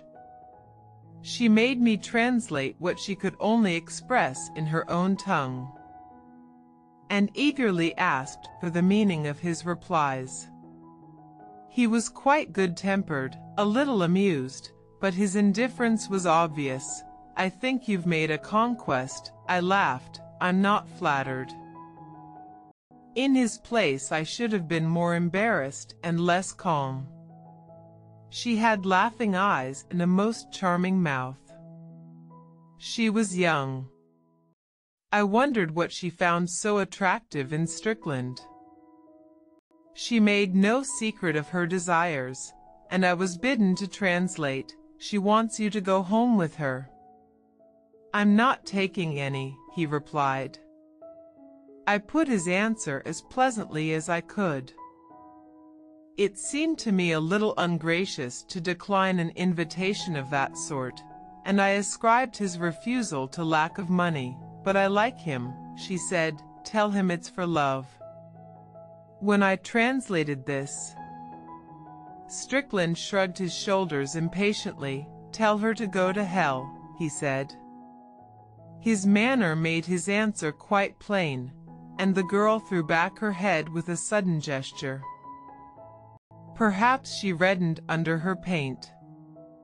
She rose to her feet, underscore Monsieur n'est pas poli, underscore she said. She walked out of the inn. I was slightly vexed. There wasn't any need to insult her that I can see. I said, after all, it was rather a compliment she was paying you. That sort of thing makes me sick, he said roughly. I looked at him curiously. There was a real distaste in his face. And yet it was the face of a coarse and sensual man. I suppose the girl had been attracted by a certain brutality in it. I could have got all the women I wanted in London. I didn't come here for that.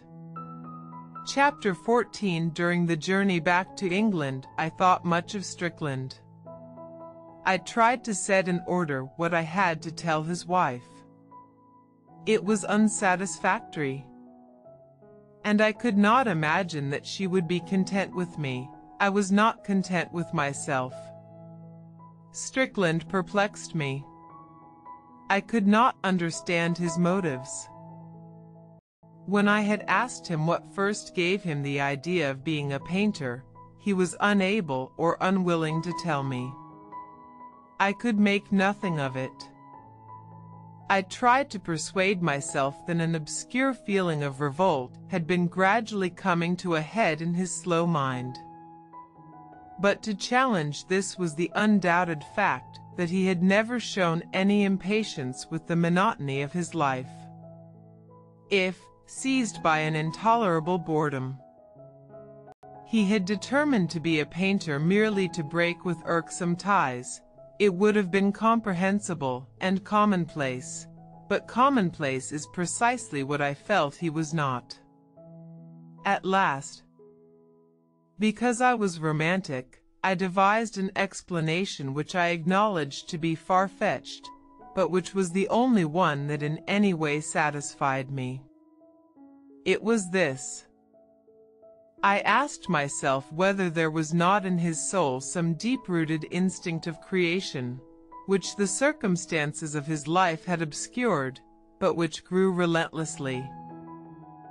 As a cancer may grow in the living tissues, till at last it took possession of his whole being and forced him irresistibly to action. The cuckoo lays its egg in the strange bird's nest and when the young one is hatched it shoulders its foster brothers out and breaks at last the nest that has sheltered it. But how strange it was that the creative instinct should seize upon this dull stockbroker, to his own ruin, perhaps, and to the misfortune of such as were dependent on him. And yet no stranger than the way in which the Spirit of God has seized men, powerful and rich, pursuing them with stubborn vigilance till at last, conquered. They have abandoned the joy of the world and the love of women for the painful austerities of the cloister. Conversion may come under many shapes, and it may be brought about in many ways. With some men it needs a cataclysm, as a stone may be broken to fragments by the fury of a torrent, but with some it comes gradually as a stone may be worn away by the ceaseless fall of a drop of water. Strickland had the directness of the fanatic and the ferocity of the apostle. But to my practical mind it remained to be seen whether the passion which obsessed him would be justified of its works. When I asked him what his brother students at the night classes he had attended in London thought of his painting, he answered with a grin, they thought it a joke. Have you begun to go to a studio here? Yes. The blighter came round this morning. The master, you know, when he saw my drawing he just raised his eyebrows and walked on. Strickland chuckled.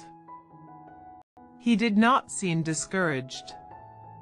He was independent of the opinion of his fellows and it was just that which had most disconcerted me in my dealings with him. When people say they do not care what others think of them, for the most part they deceive themselves. Generally they mean only that they will do as they choose. In the confidence that no one will know their vagaries and at the utmost only that they are willing to act contrary to the opinion of the majority because they are supported by the approval of their neighbors. It is not difficult to be unconventional in the eyes of the world when your unconventionality is but the convention of your set. It affords you then an inordinate amount of self-esteem. You have the self-satisfaction of courage without the inconvenience of danger. But the desire for approbation is perhaps the most deeply seated instinct of civilized man. No one runs so hurriedly to the cover of respectability as the unconventional woman who has exposed herself to the slings and arrows of outraged propriety. I do not believe the people who tell me they do not care a row of pins for the opinion of their fellows. It is the bravado of ignorance. They mean only that they do not fear reproaches for peccadilloes which they are convinced none will discover. But here was a man who sincerely did not mind what people thought of him. And so convention had no hold on him, he was like a wrestler whose body is oiled. You could not get a grip on him. It gave him a freedom which was an outrage. I remember saying to him, look here. If everyone acted like you, the world couldn't go on. That's a damned silly thing to say. Everyone doesn't want to act like me. The great majority are perfectly content to do the ordinary thing. And once I sought to be satirical, you evidently don't believe in the maxim. Act so that every one of your actions is capable of being made into a universal rule. I never heard it before, but it's rotten nonsense. Well, it was Kant who said it. I don't care. It's rotten nonsense. Nor with such a man could you expect the appeal to conscience to be effective. You might as well ask for a reflection without a mirror. I take it that conscience is the guardian in the individual of the rules which the community has evolved for its own preservation. It is the policeman in all our hearts. Set there to watch that we do not break its laws. It is the spy seated in the central stronghold of the ego. Man's desire for the approval of his fellows is so strong, his dread of their censure so violent, that he himself has brought his enemy within his gates, and it keeps watch over him. Vigilant always in the interests of its master to crush any half-formed desire to break away from the herd. It will force him to place the good of society before his own. It is the very strong link that attaches the individual to the whole. And man, subservient to interests he has persuaded himself are greater than his own, makes himself a slave to his taskmaster. He sits him in a seat of honor. At last, like a courtier fawning on the royal stick that is laid about his shoulders. He prides himself on the sensitiveness of his conscience. Then he has no words hard enough for the man who does not recognize its sway, for, a member of society now, he realizes accurately enough that against him he is powerless. When I saw that Strickland was really indifferent to the blame his conduct must excite, I could only draw back in horror as from a monster of hardly human shape. The last words he said to me when I bade him good night were, Tell Amy it's no good coming after me. Anyhow, I shall change my hotel, so she wouldn't be able to find me. My own impression is that she's well rid of you. I said, my dear fellow, I only hope you'll be able to make her see it. But women are very unintelligent. Chapter 15 When I reached London, I found waiting for me an urgent request that I should go to Mrs. Strickland's as soon after dinner as I could. I found her with Colonel MacAndrew and his wife. Mrs. Strickland's sister was older than she, not unlike her, but more faded, and she had the efficient air. As though she carried the British Empire in her pocket, which the wives of senior officers acquire from the consciousness of belonging to a superior caste. Her manner was brisk, and her good breeding scarcely concealed her conviction that if you were not a soldier you might as well be a counter-jumper. She hated the guards, whom she thought conceited, and she could not trust herself to speak of their ladies, who were so remiss in calling. Her gown was dowdy and expensive. Mrs. Strickland was plainly nervous. Well, tell us your news. She said, I saw your husband. I'm afraid he's quite made up his mind not to return. I paused a little. He wants to paint. What do you mean? cried Mrs. Strickland, with the utmost astonishment. Did you never know that he was keen on that sort of thing? He must be as mad as a hatter, exclaimed the colonel. Mrs. Strickland frowned a little. She was searching among her recollections. I remember before we were married he used to potter about with a paint box. But you never saw such daubs. We used to chaff him. He had absolutely no gift for anything like that. Of course it's only an excuse, said Mrs. MacAndrew. Mrs. Strickland pondered deeply for some time. It was quite clear that she could not make head or tail of my announcement. She had put some order into the drawing room by now, her housewifely instincts having got the better of her dismay, and it no longer bore that deserted look. Like a furnished house long to let, which I had noticed on my first visit after the catastrophe. But now that I had seen Strickland in Paris, it was difficult to imagine him in those surroundings. I thought it could hardly have failed to strike them that there was something incongruous in him, but if he wanted to be an artist, why didn't he say so? asked Mrs. Strickland at last. I should have thought I was the last person to be unsympathetic to, to aspirations of that kind. Mrs. MacAndrew tightened her lips. I imagine that she had never looked with approval on her sisters leaning towards persons who cultivated the arts. She spoke of Culchaw derisively. Mrs. Strickland continued. After all, if he had any talent I should be the first to encourage it. I wouldn't have minded sacrifices. I'd much rather be married to a painter than to a stockbroker. If it weren't for the children, I wouldn't mind anything. I could be just as happy in a shabby studio in Chelsea as in this flat.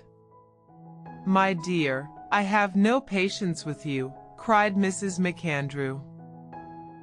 You don't mean to say you believe a word of this nonsense? But I think it's true, I put in mildly. She looked at me with good-humored contempt. A man doesn't throw up his business and leave his wife and children at the age of 40 to become a painter unless there's a woman in it. I suppose he met one of your artistic friends. And she's turned his head. A spot of color rose suddenly to Mrs. Strickland's pale cheeks. What is she like? I hesitated a little. I knew that I had a bombshell. There isn't a woman. Colonel MacAndrew and his wife uttered expressions of incredulity, and Mrs. Strickland sprang to her feet. Do you mean to say you never saw her? There's no one to see. He's quite alone. That's preposterous, cried Mrs. MacAndrew. I knew I ought to have gone over myself, said the colonel. You can bet your boots I'd have routed her out fast enough. I wish you had gone over. I replied, somewhat tartly, you'd have seen that every one of your suppositions was wrong. He's not at a smart hotel. He's living in one tiny room in the most squalid way. If he's left his home, it's not to live a gay life. He's got hardly any money. Do you think he's done something that we don't know about and is lying doggo on account of the police?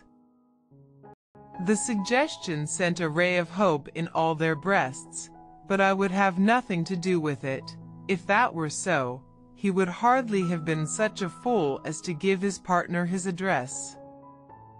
I retorted acidly, Anyhow, there's one thing I'm positive of, he didn't go away with anyone. He's not in love. Nothing is farther from his thoughts.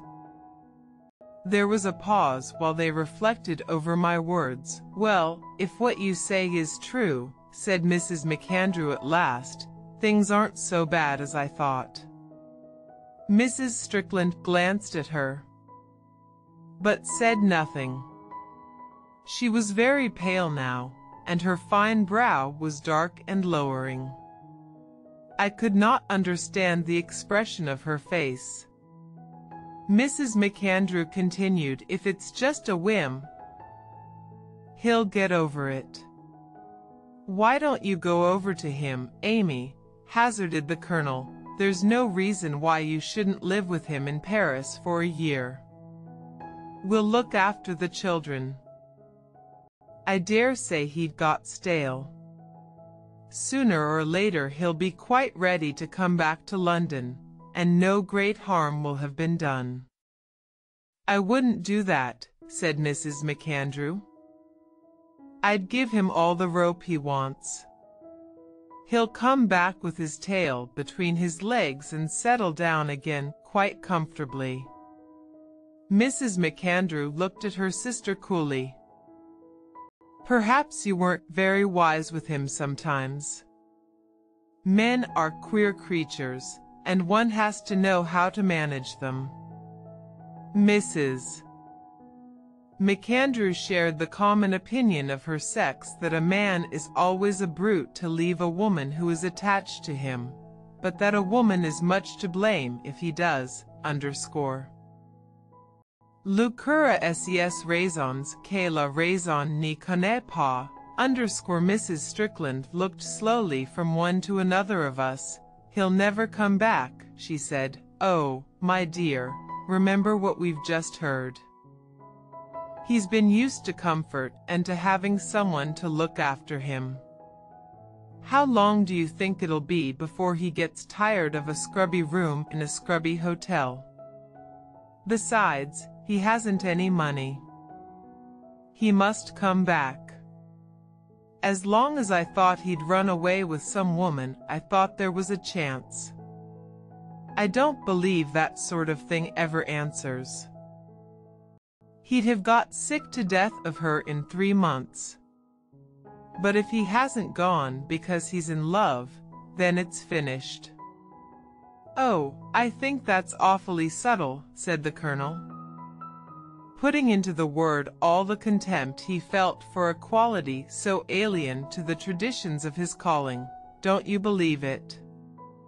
He'll come back, and, as Dorothy says, I dare say he'll be none the worse for having had a bit of a fling. But I don't want him back, she said Amy. It was anger that had seized Mrs. Strickland and her pallor was the pallor of a cold and sudden rage. She spoke quickly now, with little gasps. I could have forgiven it if he'd fallen desperately in love with someone and gone off with her. I should have thought that natural. I shouldn't really have blamed him. I should have thought he was led away. Men are so weak, and women are so unscrupulous. But this is different. I hate him. I'll never forgive him now. Colonel MacAndrew and his wife began to talk to her together. They were astonished. They told her she was mad. They could not understand. Mrs. Strickland turned desperately to me, don't underscore. You underscore C, she cried, I'm not sure. Do you mean that you could have forgiven him if he'd left you for a woman, but not if he's left you for an idea? You think you're a match for the one. You underscore C, she cried, I'm not sure. Do you mean that you could have forgiven him if he'd left you for a woman, but not if he's left you for an idea? You think you're a match for the one. But against the other you're helpless? Mrs. Strickland gave me a look in which I read no great friendliness, but did not answer. Perhaps I had struck home. She went on in a low and trembling voice, I never knew it was possible to hate anyone as much as I hate him. Do you know? I've been comforting myself by thinking that however long it lasted he'd want me at the end.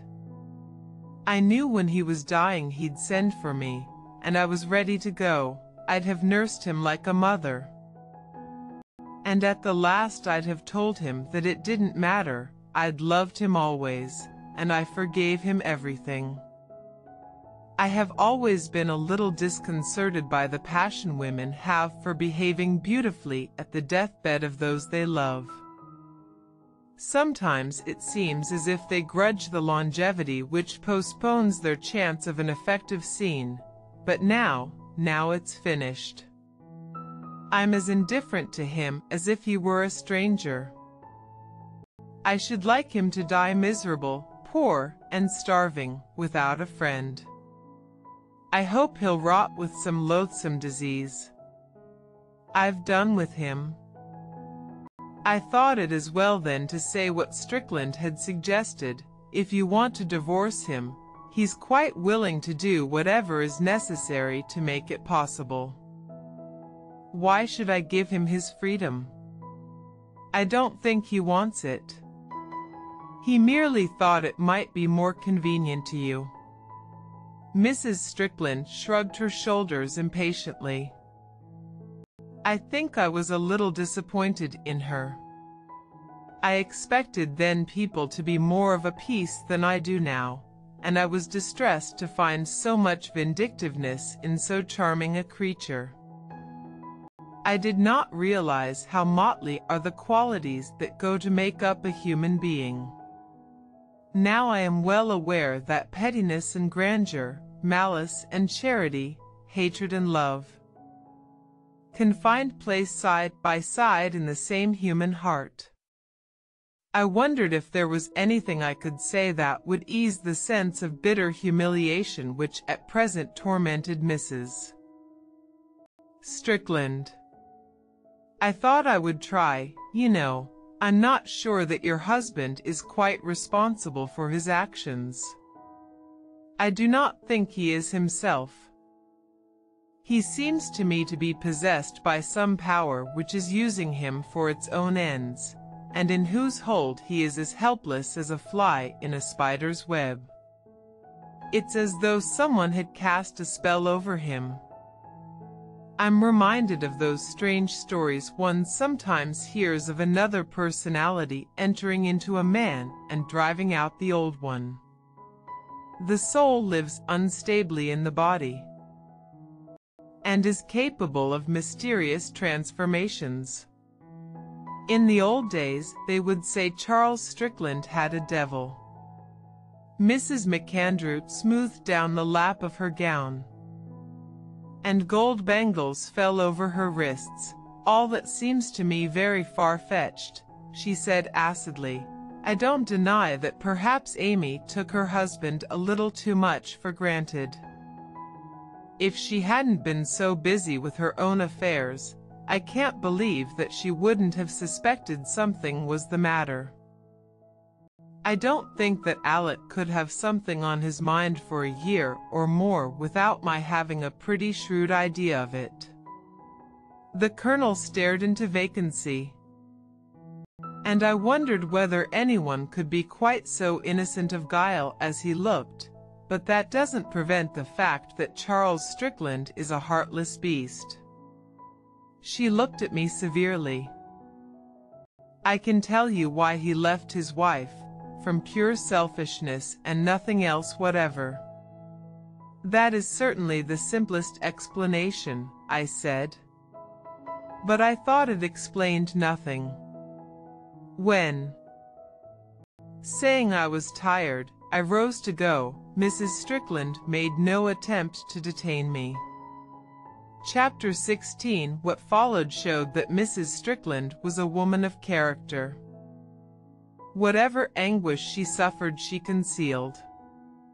She saw shrewdly that the world is quickly bored by the recital of misfortune, and willingly avoids the sight of distress. Whenever she went out, and compassion for her misadventure made her friends eager to entertain her, she bore a demeanor that was perfect. She was brave, but not too obviously cheerful but not brazenly, and she seemed more anxious to listen to the troubles of others than to discuss her own. Whenever she spoke of her husband it was with pity. Her attitude towards him at first perplexed me. One day she said to me, you know, I'm convinced you were mistaken about Charles being alone. From what I've been able to gather from certain sources that I can't tell you, I know that he didn't leave England by himself. In that case he has a positive genius for covering up his tracks. She looked away and slightly colored. What I mean is, if anyone talks to you about it, please don't contradict it if they say he eloped with somebody. Of course not. She changed the conversation as though it were a matter to which she attached no importance. I discovered presently that a peculiar story was circulating among her friends. They said that Charles Strickland had... I could not find out how this had arisen, but, Singularly enough, it created much sympathy for Mrs. Strickland, and at the same time gave her not a little prestige. This was not without its use in the calling which she had decided to follow. Colonel MacAndrew had not exaggerated when he said she would be penniless. And it was necessary for her to earn her own living as quickly as she could. She made up her mind to profit by her acquaintance with so many writers. And without loss of time began to learn shorthand and typewriting. Her education made it likely that she would be a typist more efficient than the average. And her story made her claims appealing. Her friends promised to send her work, and took care to recommend her to all theirs. The MacAndrews, who were childless and in easy circumstances, arranged to undertake the care of the children, and Mrs. Strickland had only herself to provide for. She let her flat and sold her furniture. She settled in two tiny rooms in Westminster and faced the world anew. She was so efficient that it was certain she would make a success of the adventure. Chapter 17 It was about five years after this that I decided to live in Paris for a while. I was growing stale in London. I was tired of doing much the same thing every day. My friends pursued their course with uneventfulness. They had no longer any surprises for me. And when I met them I knew pretty well what they would say. Even their love affairs had a tedious banality. We were like tramcars running on their lines from terminus to terminus and it was possible to calculate within small limits the number of passengers they would carry. Life was ordered too pleasantly. I was seized with panic. I gave up my small apartment, sold my few belongings, and resolved to start afresh. I called on Mrs. Strickland before I left. I had not seen her for some time, and I noticed changes in her. It was not only that she was older, thinner, and more lined. I think her character had altered. She had made a success of her business, and now had an office in Chancery Lane. She did little typing herself, but spent her time correcting the work of the four girls she employed. She had had the idea of giving it a certain daintiness. And she made much use of blue and red inks. She bound the copy in coarse paper that looked vaguely like watered silk in various pale colors. And she had acquired a reputation for neatness and accuracy. She was making money. But she could not get over the idea that to earn her living was somewhat undignified. And she was inclined to remind you that she was a lady by birth. She could not help bringing into her conversation the names of people she knew which would satisfy you that she had not sunk in the social scale. She was a little ashamed of her courage and business capacity, but delighted that she was going to dine the next night with a K.C. who lived in South Kensington. She was pleased to be able to tell you that her son was at Cambridge, and it was with a little laugh that she spoke of the rush of dances to which her daughter, just out, was invited. I suppose I said a very stupid thing. Is she going into your business? I asked, Oh no, I wouldn't let her do that, Mrs. Strickland answered. She's so pretty. I'm sure she'll marry well. I should have thought it would be a help to you. Several people have suggested that she should go on the stage, but of course I couldn't consent to that. I know all the chief dramatists. And I could get her a part tomorrow, but I shouldn't like her to mix with all sorts of people. I was a little chilled by Mrs. Strickland's exclusiveness, Do you ever hear of your husband? No. I haven't heard a word. He may be dead for all I know. I may run across him in Paris. Would you like me to let you know about him? She hesitated a minute. If he's in any real want I'm prepared to help him a little. I'd send you a certain sum of money, and you could give it him gradually, as he needed it. That's very good of you, I said.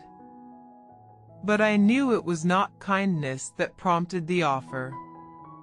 It is not true that suffering ennobles the character. Happiness does that sometimes, but suffering, for the most part, makes men petty and vindictive.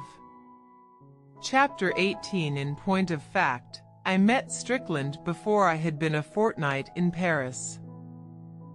I quickly found myself a tiny apartment on the fifth floor of a house in the Rue des Dames and for a couple of hundred francs bought at a second-hand dealer's enough furniture to make it habitable. I arranged with the concierge to make my coffee in the morning and to keep the place clean. Then I went to see my friend Dirk Stroeve.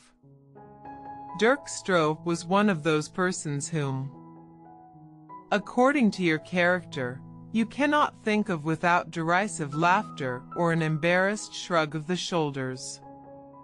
Nature had made him a buffoon.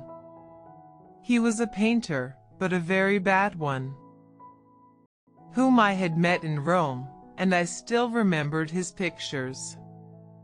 He had a genuine enthusiasm for the commonplace, his soul palpitating with love of art. He painted the models who hung about the stairway of Bernini in the Piazza di Spagna, undaunted by their obvious picturesqueness. And his studio was full of canvases on which were portrayed mustachioed, large-eyed peasants in peaked hats, urchins in becoming rags, and women in bright petticoats. Sometimes they lounged at the steps of a church, and sometimes dallied among cypresses against a cloudless sky. Sometimes they made love by a Renaissance wellhead. And sometimes they wandered through the Campagna by the side of an ox wagon. They were carefully drawn and carefully painted. A photograph could not have been more exact. One of the painters at the Villa Medici had called him underscore le maître de la boîte à chocolates, underscore to look at his pictures you would have thought that Monet, Manet. And the rest of the Impressionists had never been. I don't pretend to be a great painter, he said. I'm not a Michelangelo, no, but I have something. I sell. I bring romance into the homes of all sorts of people. Do you know, they buy my pictures not only in Holland, but in Norway and Sweden and Denmark? It's mostly merchants who buy them. And rich tradesmen. You can't imagine what the winters are like in those countries, so long and dark and cold. They like to think that Italy is like my pictures. That's what they expect. That's what I expected Italy to be before I came here. And I think that was the vision that had remained with him always, dazzling his eyes so that he could not see the truth. And notwithstanding the brutality of fact, he continued to see with the eyes of the spirit an Italy of romantic brigands and picturesque ruins. It was an ideal that he painted. A poor one, common and shop-soiled, but still it was an ideal, and it gave his character a peculiar charm. It was because I felt this that Dirk Stroeve was not to me, as to others, merely an object of ridicule. His fellow painters made no secret of their contempt for his work, but he earned a fair amount of money, and they did not hesitate to make free use of his purse. He was generous, and the needy, laughing at him because he believed so naively their stories of distress. Borrowed from him with effrontery. He was very emotional, yet his feeling, so easily aroused, had in it something absurd, so that you accepted his kindness, but felt no gratitude. To take money from him was like robbing a child, and you despised him because he was so foolish. I imagine that a pickpocket, proud of his light fingers, must feel a sort of indignation with the careless woman who leaves in a cab a vanity bag with all her jewels in it. Nature had made him a butt, but had denied him insensibility. He writhed under the jokes, practical and otherwise, which were perpetually made at his expense, and yet never ceased, it seemed wilfully, to expose himself to them. He was constantly wounded, and yet his good nature was such that he could not bear malice. The viper might sting him, but he never learned by experience and had no sooner recovered from his pain than he tenderly placed it once more in his bosom. His life was a tragedy written in the terms of knockabout farce. Because I did not laugh at him, he was grateful to me, and he used to pour into my sympathetic ear the long list of his troubles. The saddest thing about them was that they were grotesque. And the more pathetic they were, the more you wanted to laugh. But though so bad a painter, he had a very delicate feeling for art, and to go with him to picture galleries was a rare treat. His enthusiasm was sincere and his criticism acute. He was Catholic. He had not only a true appreciation of the old masters, but sympathy with the moderns. He was quick to discover talent, and his praise was generous. I think I have never known a man whose judgment was sure. And he was better educated than most painters. He was not, like most of them, ignorant of kindred arts, and his taste for music and literature gave depth and variety to his comprehension of painting. To a young man like myself his advice and guidance were of incomparable value. When I left Rome I corresponded with him, and about once in two months received from him long letters in queer English, which brought before me vividly his spluttering, enthusiastic, gesticulating conversation. Some time before I went to Paris he had married an Englishwoman, and was now settled in a studio in Montmartre. I had not seen him for four years, and had never met his wife. Chapter 19 I had not announced my arrival to Stroeve, and when I rang the bell of his studio, on opening the door himself, for a moment he did not know me. Then he gave a cry of delighted surprise and drew me in. It was charming to be welcomed with so much eagerness. His wife was seated near the stove at her sewing, and she rose as I came in. He introduced me. Don't you remember? He said to her, I've talked to you about him often. And then to me, but why didn't you let me know you were coming? How long have you been here? How long are you going to stay? Why didn't you come an hour earlier, and we would have dined together? He bombarded me with questions. He sat me down in a chair, patting me as though I were a cushion, pressed cigars upon me, cakes, wine. He could not let me alone.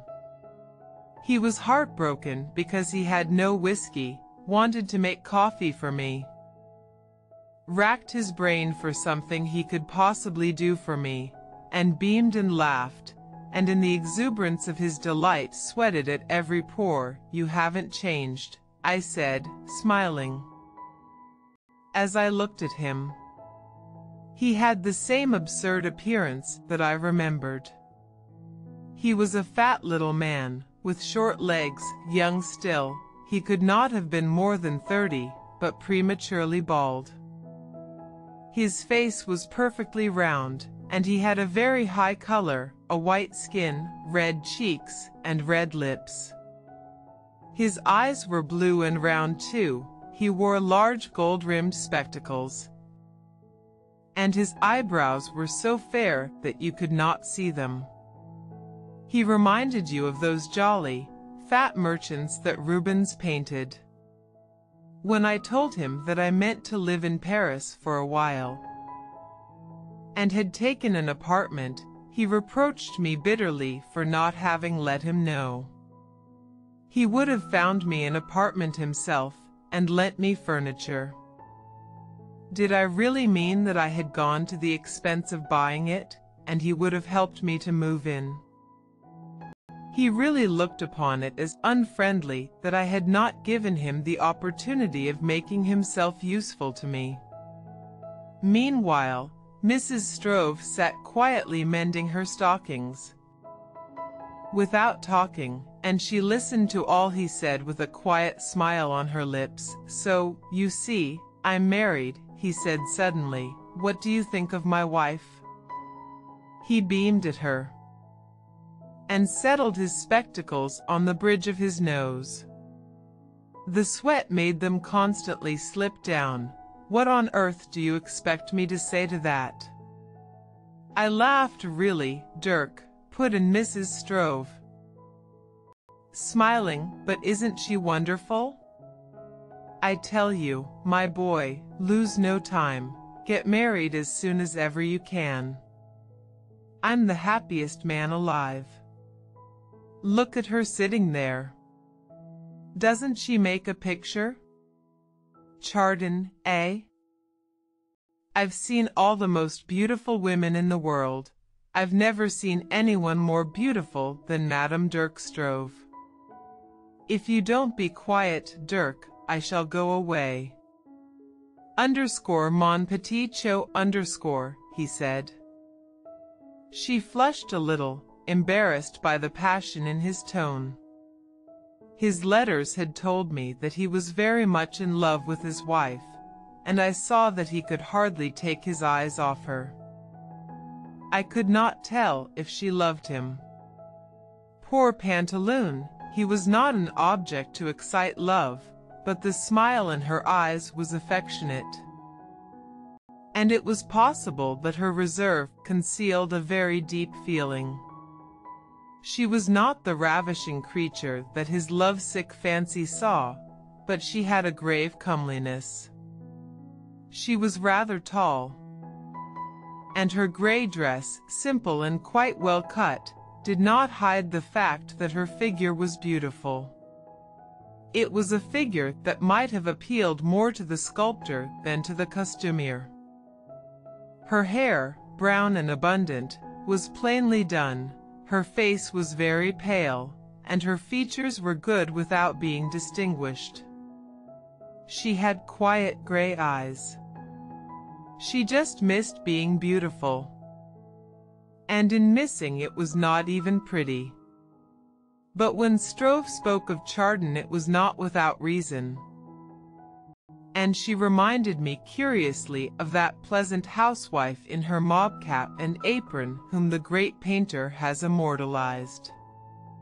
I could imagine her sedately busy among her pots and pans, making a ritual of her household duties, so that they acquired a moral significance. I did not suppose that she was clever or could ever be amusing. But there was something in her grave intentness which excited my interest. Her reserve was not without mystery. I wondered why she had married Dirk Stroeve. Though she was English, I could not exactly place her, and it was not obvious from what rank in society she sprang, what had been her upbringing, or how she had lived before her marriage. She was very silent. But when she spoke it was with a pleasant voice, and her manners were natural. I asked Stroeve if he was working working. I'm painting better than I've ever painted before. We sat in the studio, and he waved his hand to an unfinished picture on an easel. I gave a little start. He was painting a group of Italian peasants in the costume of the Campagna. Lounging on the steps of a Roman church, is that what you're doing now? I asked, yes. I can get my models here just as well as in Rome. Don't you think it's very beautiful, said Mrs. Stroeve. This foolish wife of mine thinks I'm a great artist, said he. His apologetic laugh did not disguise the pleasure that he felt. His eyes lingered on his picture. It was strange that his critical sense, so accurate and unconventional when he dealt with the work of others, should be satisfied in himself with what was hackneyed and vulgar beyond belief. Show him some more of your pictures, she said, shall I? Though he had suffered so much from the ridicule of his friends, Dirk Stroeve, eager for praise and naively self-satisfied, could never resist displaying his work. He brought out a picture of two curly-headed Italian urchins playing marbles. Aren't they sweet? said Mrs. Stroeve. And then he showed me more. I discovered that in Paris he had been painting just the same stale, obviously picturesque things that he had painted for years in Rome. It was all false, insincere, shoddy. And yet no one was more honest, sincere, and frank than Dirk Stroeve. Who could resolve the contradiction? I do not know what put it into my head to ask, I say. Have you by any chance run across a painter called Charles Strickland? You don't mean to say you know him, cried Strove Stroeve beast, said his wife. Stroeve laughed, underscore ma pauvre chérie. Underscore. He went over to her and kissed both her hands, she doesn't like him. How strange that you should know Strickland. I don't like bad manners, said Mrs. Stroeve. Dirk, laughing still, turned to me to explain, you see, I asked him to come here one day and look at my pictures. Well, he came, and I showed him everything I had. Stroeve hesitated a moment with embarrassment. I do not know why he had begun the story against himself, he felt an awkwardness at finishing it. He looked at, at my pictures, and he didn't say anything. I thought he was reserving his judgment till the end. And at last I said, there, that's the lot. He said, I came to ask you to lend me twenty francs. And Dirk actually gave it him. Said his wife indignantly, I was so taken aback. I didn't like to refuse. He put the money in his pocket, just nodded, said thanks, and walked out. Dirk Stroeve, telling the story, had such a look of blank astonishment on his round, foolish face that it was almost impossible not to laugh. I shouldn't have minded if he'd said my pictures were bad, but he said nothing. Nothing. And you underscore will underscore tell the story, Dirk, said his wife. It was lamentable that one was more amused by the ridiculous figure cut by the Dutchman than outraged by Strickland's brutal treatment of him. I hope I shall never see him again, said Mrs. Stroeve. Stroeve smiled and shrugged his shoulders. He had already recovered his good humor, the fact remains that he's a great artist, a very great artist. Strickland? I exclaimed, it can't be the same man. A big fellow with a red beard. Charles Strickland. An Englishman. He had no beard when I knew him, but if he has grown one it might well be red. The man I'm thinking of only began painting five years ago. That's it. He's a great artist. Impossible. Have I ever been mistaken? Dirk asked me, I tell you he has genius. I'm convinced of it. In a hundred years, if you and I are remembered at all, it will be because we knew Charles Strickland. I was astonished, and at the same time I was very much excited. I remembered suddenly my last talk with him, where can one see his work? I asked, is he having any success? Where is he living? No, he has no success. I don't think he's ever sold a picture. When you speak to men about him, they only laugh. But I underscore no underscore he's a great artist. After all, they laughed at Manet. Corot never sold a picture. I don't know where he lives. But I can take you to see him. He goes to a cafe in the Avenue de Clichy at 7 o'clock every evening. If you like, we'll go there tomorrow. I'm not sure if he'll wish to see me. I think I may remind him of a time he prefers to forget. But I'll come all the same. Is there any chance of seeing any of his pictures? Not from him. He won't show you a thing. There's a little dealer I know who has two or three. But you mustn't go without me, you wouldn't understand. I must show them to you myself. Dirk, you make me impatient, said Mrs. Stroeve. How can you talk like that about his pictures when he treated you as he did? She turned to me, do you know? When some Dutch people came here to buy Dirk's pictures, he tried to persuade them to buy Strickland's. He insisted on bringing them here to show. What did underscore you underscore think of them? I asked her. Smiling, they were awful. Ah, sweetheart, you don't understand. Well, your Dutch people were furious with you. They thought you were having a joke with them.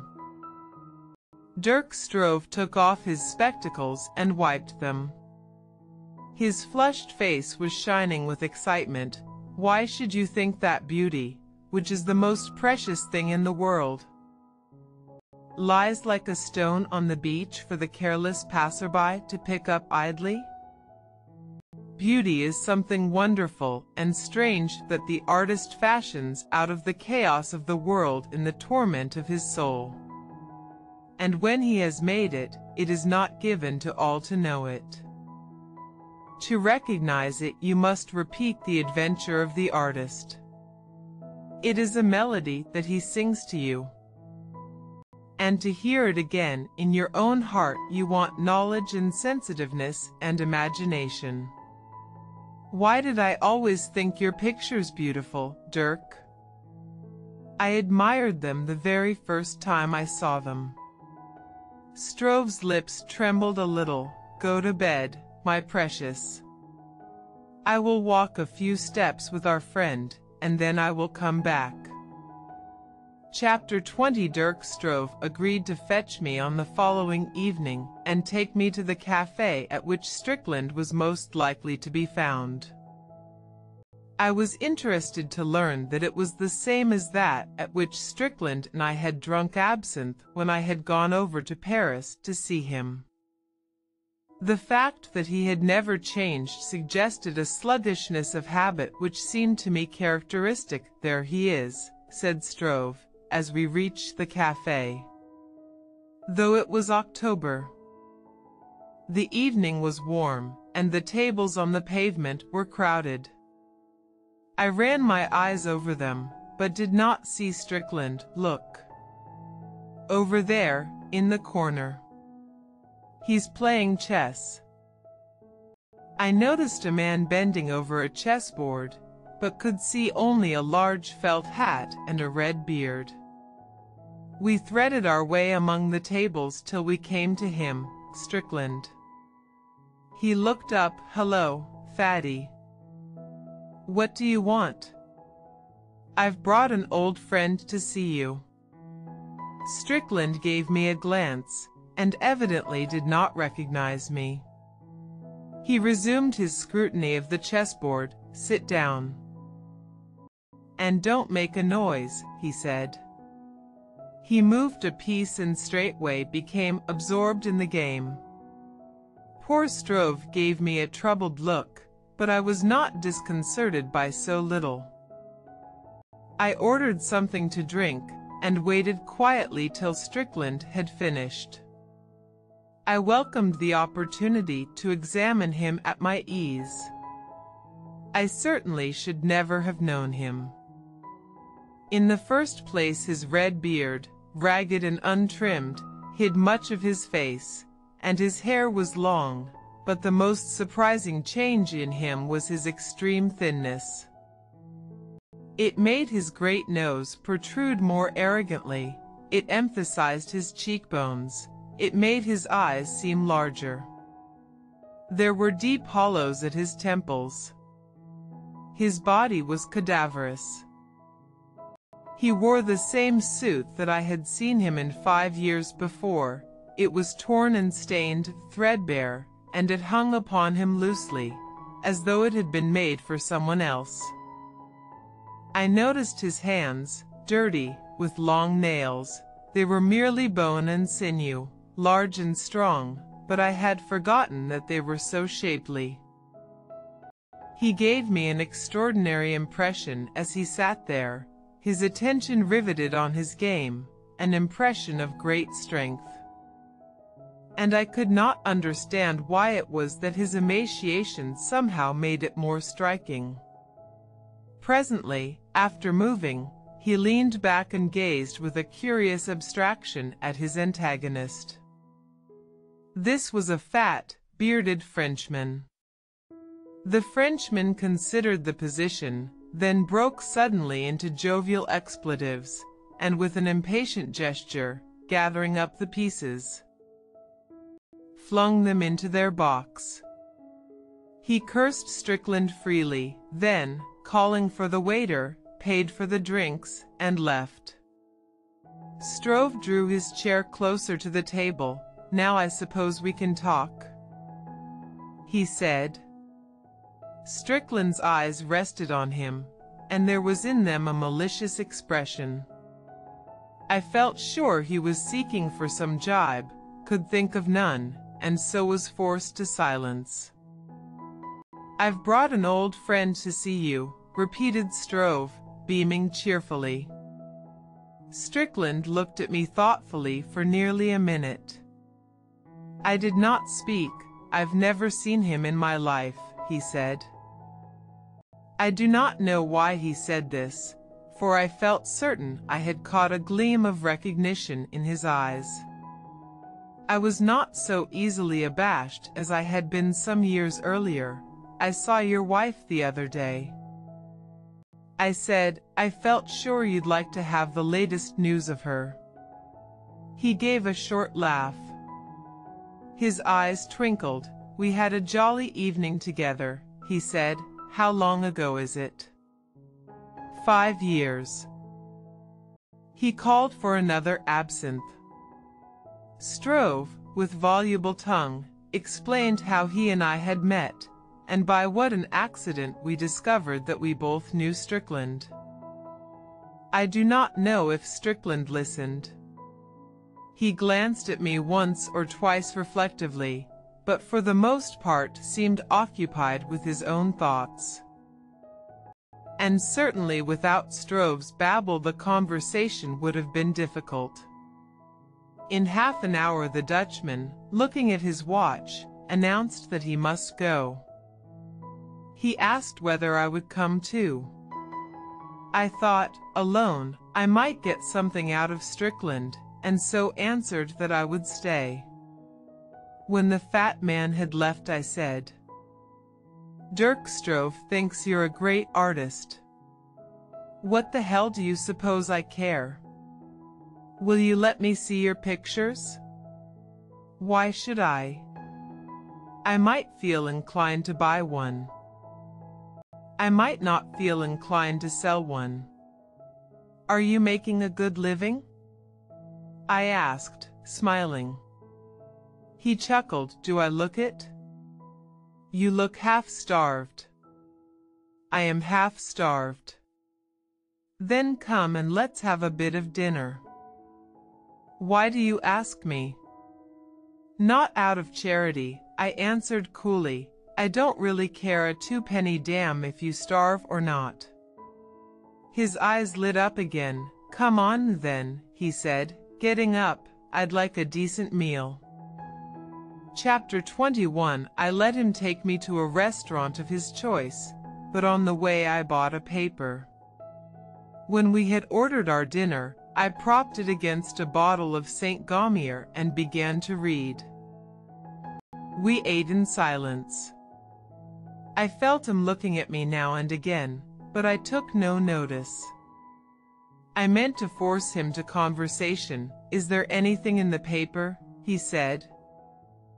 As we approached the end of our silent meal, I fancied there was in his tone a slight note of exasperation. I always like to read the underscore feuilleton underscore on the drama, I said. I folded the paper and put it down beside me. I've enjoyed my dinner, he remarked. I think we might have our coffee here, don't you? Yes. We lit our cigars. I smoked in silence. I noticed that now and then his eyes rested on me with a faint smile of amusement. I waited patiently. What have you been up to since I saw you last? he asked at length. I had not very much to say. It was a record of hard work and of little adventure, of experiments in this direction and in that of the gradual acquisition of the knowledge of books and of men. I took care to ask Strickland nothing about his own doings. I showed not the least interest in him. And at last I was rewarded. He began to talk of himself. But with his poor gift of expression he gave but indications of what he had gone through and I had to fill up the gaps with my own imagination. It was tantalizing to get no more than hints into a character that interested me so much. It was like making one's way through a mutilated manuscript. I received the impression of a life which was a bitter struggle against every sort of difficulty. But I realized that much which would have seemed horrible to most people did not in the least affect him. Strickland was distinguished from most Englishmen by his perfect indifference to comfort. It did not irk him to live always in one shabby room. He had no need to be surrounded by beautiful things. I do not suppose he had ever noticed how dingy was the paper on the wall of the room in which on my first visit I found him. He did not want armchairs to sit in. He really felt more at his ease on a kitchen chair. He ate with appetite, but was indifferent to what he ate. To him it was only food that he devoured to still the pangs of hunger and when no food was to be had he seemed capable of doing without. I learned that for six months he had lived on a loaf of bread and a bottle of milk a day. He was a sensual man, and yet was indifferent to sensual things. He looked upon privation as no hardship. There was something impressive in the manner in which he lived a life wholly of the spirit. When the small sum of money which he brought with him from London came to an end he suffered from no dismay. He sold no pictures. I think he made little attempt to sell any. He set about finding some way to make a bit of money. He told me with grim humor of the time he had spent acting as guide to cockneys who wanted to see the night side of life in Paris. It was an occupation that appealed to his sardonic temper and somehow or other he had acquired a wide acquaintance with the more disreputable quarters of the city. He told me of the long hours he spent walking about the Boulevard de la Madeleine on the lookout for Englishmen, preferably the worse for liquor, who desired to see things which the law forbade. When in luck he was able to make a tidy sum, but the shabbiness of his clothes at last frightened the sightseers. And he could not find people adventurous enough to trust themselves to him. Then he happened on a job to translate the advertisements of patent medicines which were sent broadcast to the medical profession in England. During a strike, he had been employed as a house painter. Meanwhile he had never ceased to work at his art, but, soon tiring of the studios, entirely by himself. He had never been so poor that he could not buy canvas and paint, and really he needed nothing else. So far as I could make out, he painted with great difficulty, and in his unwillingness to accept help from anyone lost much time in finding out for himself the solution of technical problems which preceding generations had already worked out one by one. He was aiming at something, I knew not what, and perhaps he hardly knew himself, and I got again more strongly the impression of a man possessed. He did not seem quite sane, it seemed to me that he would not show his pictures because he was really not interested in them. He lived in a dream, and the reality meant nothing to him. I had the feeling that he worked on a canvas with all the force of his violent personality, oblivious of everything in his effort to get what he saw with the mind's eye, and then, having finished, not the picture perhaps, for I had an idea that he seldom brought anything to completion, but the passion that fired him, he lost all care for it. He was never satisfied with what he had done.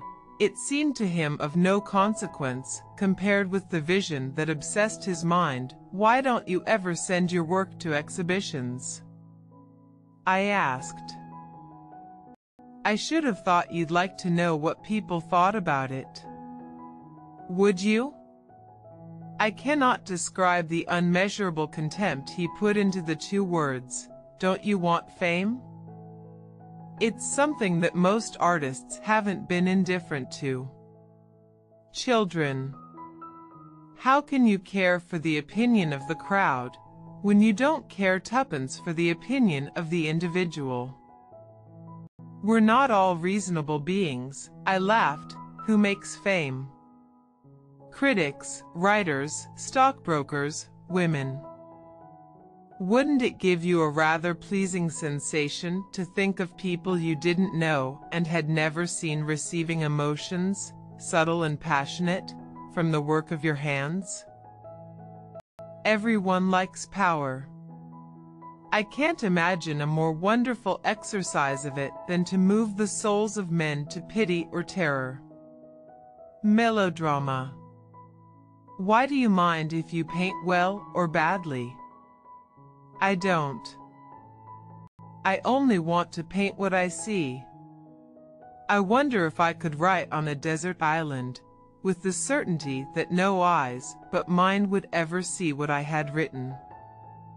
Strickland did not speak for a long time, but his eyes shone strangely, as though he saw something that kindled his soul to ecstasy. Sometimes I've thought of an island lost in a boundless sea, where I could live in some hidden valley, among strange trees, in silence. There I think I could find what I want. He did not express himself quite like this. He used gestures instead of adjectives, and he halted.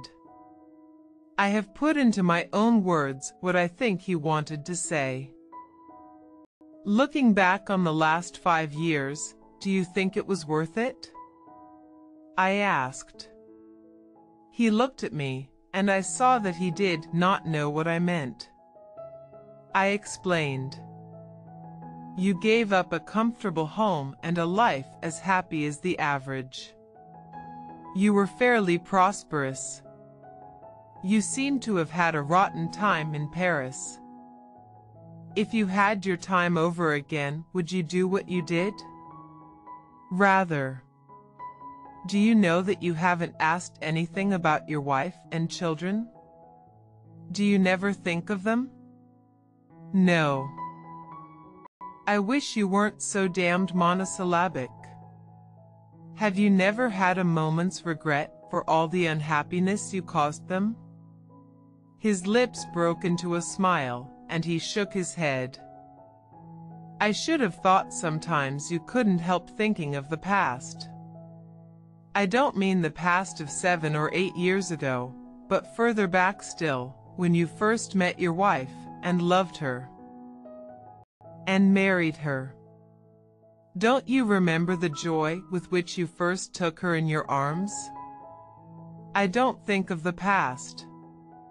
The only thing that matters is the everlasting present. I thought for a moment over this reply. It was obscure, perhaps, but I thought that I saw dimly his meaning. Are you happy? I asked, yes. I was silent. I looked at him reflectively. He held my stare, and presently a sardonic twinkle lit up his eyes. I'm afraid you disapprove of me? Nonsense, I answered promptly. I don't disapprove of the boa constrictor. On the contrary, I'm interested in his mental processes. It's a purely professional interest you take in me? purely. It's only right that you shouldn't disapprove of me. You have a despicable character. Perhaps that's why you feel at home with me, I retorted. He smiled dryly, but said nothing. I wish I knew how to describe his smile. I do not know that it was attractive, but it lit up his face. Changing the expression, which was generally somber, and gave it a look of not ill-natured malice. It was a slow smile, starting and sometimes ending in the eyes. It was very sensual. Neither cruel nor kindly, but suggested rather the inhuman glee of the satyr. It was his smile that made me ask him, Haven't you been in love since you came to Paris? I haven't got time for that sort of nonsense. Life isn't long enough for love and art. Your appearance doesn't suggest the anchorite. All that business fills me with disgust. Human nature is a nuisance, isn't it? I said, why are you sniggering at me? Because I don't believe you. Then you're a damned fool. I paused, and I looked at him searchingly. What's the good of trying to humbug me? I said, I don't know what you mean. I smiled, let me tell you. I imagine that for months the matter never comes into your head. And you're able to persuade yourself that you've finished with it, for good and all. You rejoice in your freedom, and you feel that at last you can call your soul your own. You seem to walk with your head among the stars. And then, all of a sudden you can't stand it anymore, and you notice that all the time your feet have been walking in the mud. And you want to roll yourself in it. And you find some woman, coarse and low and vulgar, some beastly creature in whom all the horror of sex is blatant. And you fall upon her like a wild animal. You drink till you're blind with rage. He stared at me without the slightest movement. I held his eyes with mine. I spoke very slowly. I'll tell you what must seem strange, that when it's over you feel so extraordinarily pure. You feel like a disembodied spirit, immaterial. And you seem to be able to touch beauty as though it were a palpable thing, and you feel an intimate communion with the breeze, and with the trees breaking into leaf, and with the iridescence of the river. You feel like God. Can you explain that to me? He kept his eyes fixed on mine till I had finished, and then he turned away. There was on his face a strange look, and I thought that so might a man look when he had died under the torture. He was silent. I knew that our conversation was ended. Chapter 22 I settled down in Paris and began to write a play. I led a very regular life, working in the morning and in the afternoon lounging about the gardens of the Luxembourg or sauntering through the streets. I spent long hours in the Louvre, the most friendly of all galleries and the most convenient for meditation, or idled on the quays, fingering second-hand books that I never meant to buy. I read a page here and there, and made acquaintance with a great many authors whom I was content to know thus desultorily. In the evenings I went to see my friends. I looked in often on the Stroeves, and sometimes shared their modest fare. Dirk Stroeve flattered himself on his skill in cooking Italian dishes, and I confess that his underscore spaghetti underscore were very much better than his pictures. It was a dinner for a king when he brought in a huge dish of it, succulent with tomatoes. And we ate it together with the good household bread and a bottle of red wine. I grew more intimate with Blanche Stroeve, and I think, because I was English and she knew few English people. She was glad to see me, she was pleasant and simple, but she remained always rather silent, and I knew not why, gave me the impression that she was concealing something. But I thought that was perhaps no more than a natural reserve accentuated by the verbose frankness of her husband. Dirk never concealed anything. He discussed the most intimate matters with a complete lack of self-consciousness. Sometimes he embarrassed his wife. And the only time I saw her put out of countenance was when he insisted on telling me that he had taken a purge, and went into somewhat realistic details on the subject. The perfect seriousness with which he narrated his misfortunes convulsed me with laughter, and this added to Mrs. Stroeve's irritation. You seem to like making a fool of yourself she said. His round eyes grew rounder still, and his brow puckered in dismay as he saw that she was angry. Sweetheart, have I vexed you? I'll never take another. It was only because I was bilious. I lead a sedentary life. I don't take enough exercise. For three days I hadn't, for goodness sake, Hold your tongue, she interrupted. Tears of annoyance in her eyes. His face fell, and he pouted his lips like a scolded child. He gave me a look of appeal, so that I might put things right, but, unable to control myself, I shook with helpless laughter. We went one day to the picture dealer in whose shop Stroeve thought he could show me at least two or three of Strickland's pictures. But when we arrived we were told that Strickland himself had taken them away. The dealer did not know why, but don't imagine to yourself that I make myself bad blood on that account.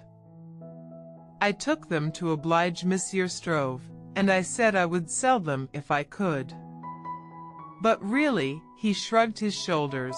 I'm interested in the young men, but underscore voyons underscore, you yourself. Monsieur Stroeve, you don't think there's any talent there? I give you my word of honor.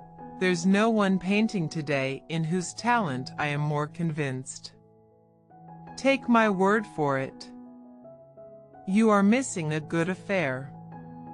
Someday those pictures will be worth more than all you have in your shop. Remember Monet, who could not get anyone to buy his pictures for a hundred francs. What are they worth now? True. But there were a hundred as good painters as Monet who couldn't sell their pictures at that time, and their pictures are worth nothing still. How can one tell? Is merit enough to bring success? Don't believe it underscore du reste underscore. It has still to be proved that this friend of yours has merit. No one claims it for him but Monsieur Stroeve. And how, then? Will you recognize merit? asked Dirk, red in the face with anger. There is only one way, by success.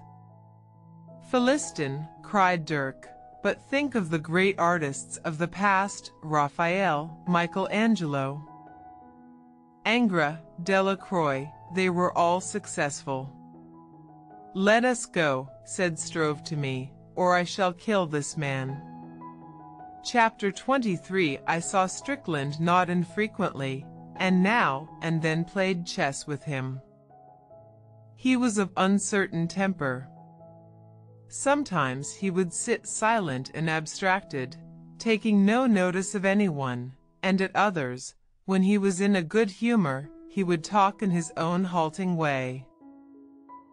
He never said a clever thing, but he had a vein of brutal sarcasm which was not ineffective, and he always said exactly what he thought.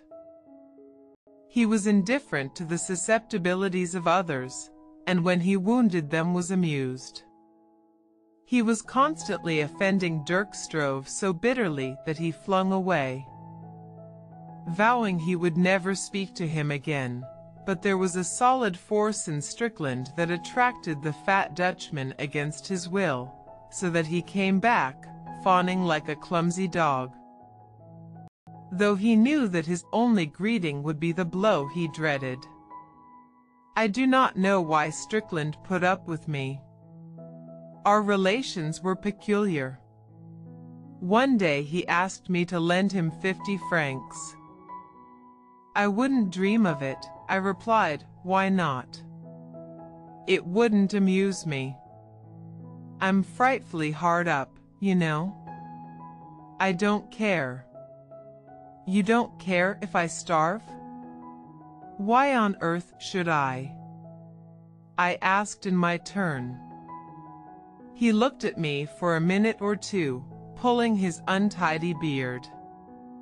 I smiled at him. What are you amused at? he said, with a gleam of anger in his eyes. You're so simple. You recognize no obligations. No one is under any obligation to you.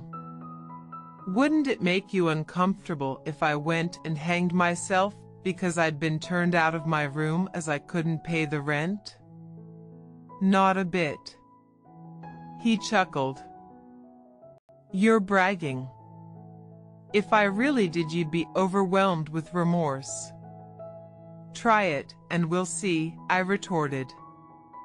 A smile flickered in his eyes, and he stirred his absinthe in silence. Would you like to play chess? I asked, I don't mind. We set up the pieces, and when the board was ready he considered it with a comfortable eye. There is a sense of satisfaction in looking at your men all ready for the fray. Did you really think I'd lend you money? I asked. I didn't see why you shouldn't. You surprise me. Why? It's disappointing to find that at heart you are sentimental. I should have liked you better if you hadn't made that ingenuous appeal to my sympathies. I should have despised you if you'd been moved by it, he answered. That's better, I laughed. We began to play. We were both absorbed in the game. When it was finished I said to him, look here. If you're hard up, let me see your pictures. If there's anything I like I'll buy it. Go to hell, he answered.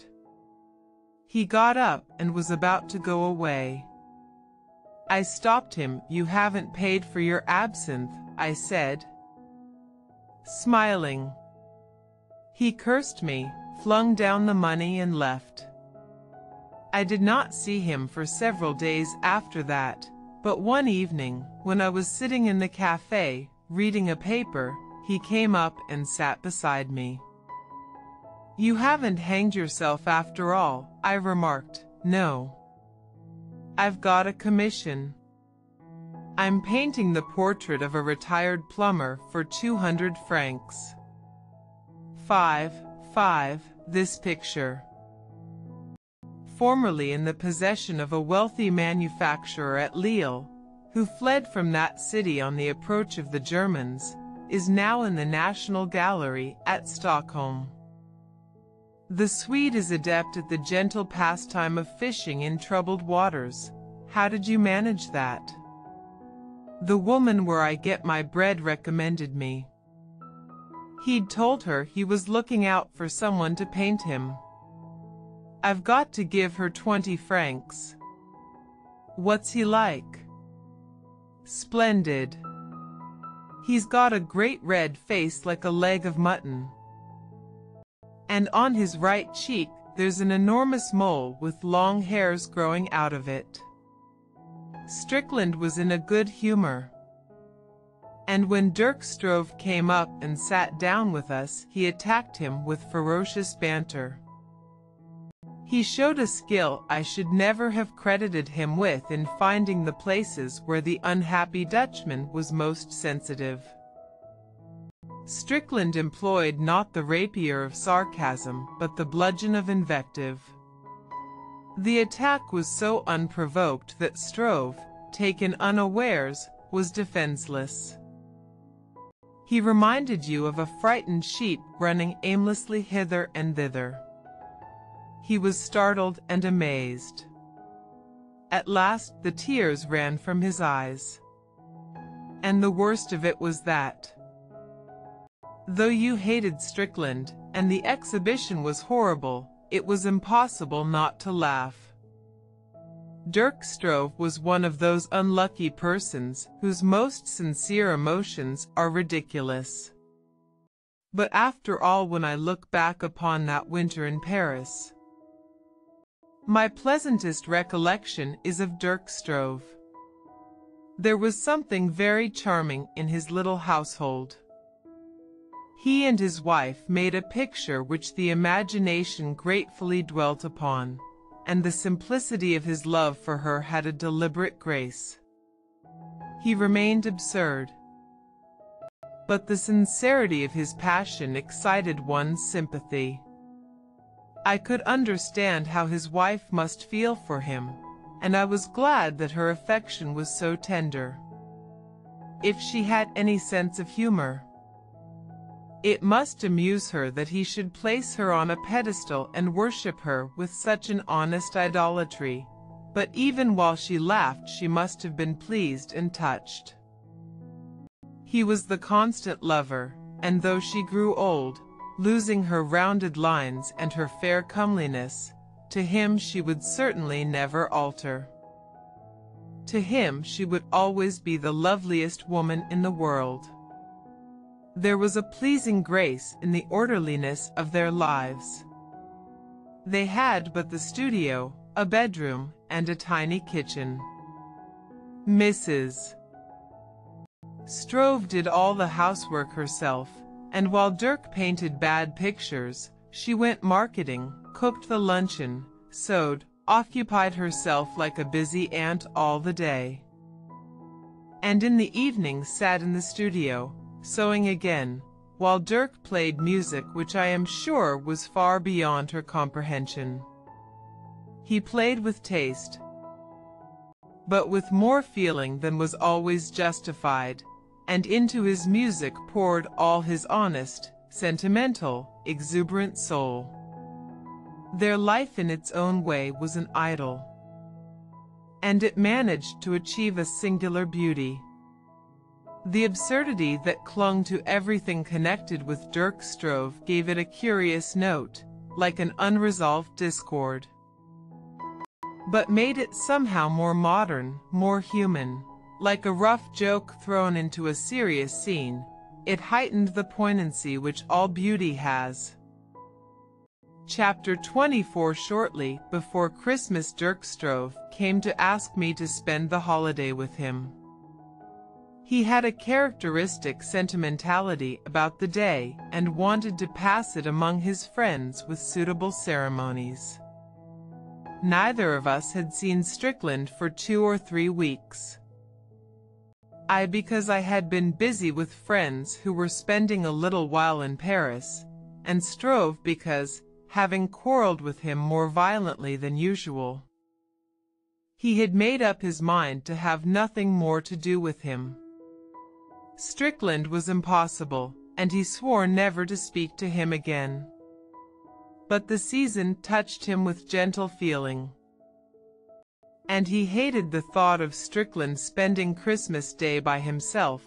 He ascribed his own emotions to him, and could not bear that on an occasion given up to good fellowship the lonely painter should be abandoned to his own melancholy. Stroeve had set up a Christmas tree in his studio and I suspected that we should both find absurd little presents hanging on its festive branches, but he was shy about seeing Strickland again.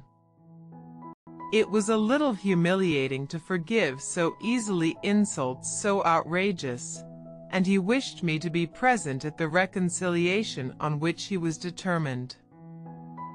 We walked together down the Avenue de Clichy, but Strickland was not in the café. It was too cold to sit outside, and we took our places on leather benches within. It was hot and stuffy, and the air was gray with smoke. Strickland did not come, but presently we saw the French painter who occasionally played chess with him. I had formed a casual acquaintance with him, and he sat down at our table. Stroeve asked him if he had seen Strickland. He's ill, he said, didn't you know? Seriously? Very, I understand. Stroeve's face grew white. Why didn't he write and tell me? How stupid of me to quarrel with him. We must go to him at once. He can have no one to look after him. Where does he live? I have no idea, said the Frenchman. We discovered that none of us knew how to find him. Stroeve grew more and more distressed. He might die, and not a soul would know anything about it. It's dreadful. I can't bear the thought. We must find him at once. I tried to make Stroeve understand that it was absurd to hunt vaguely about Paris.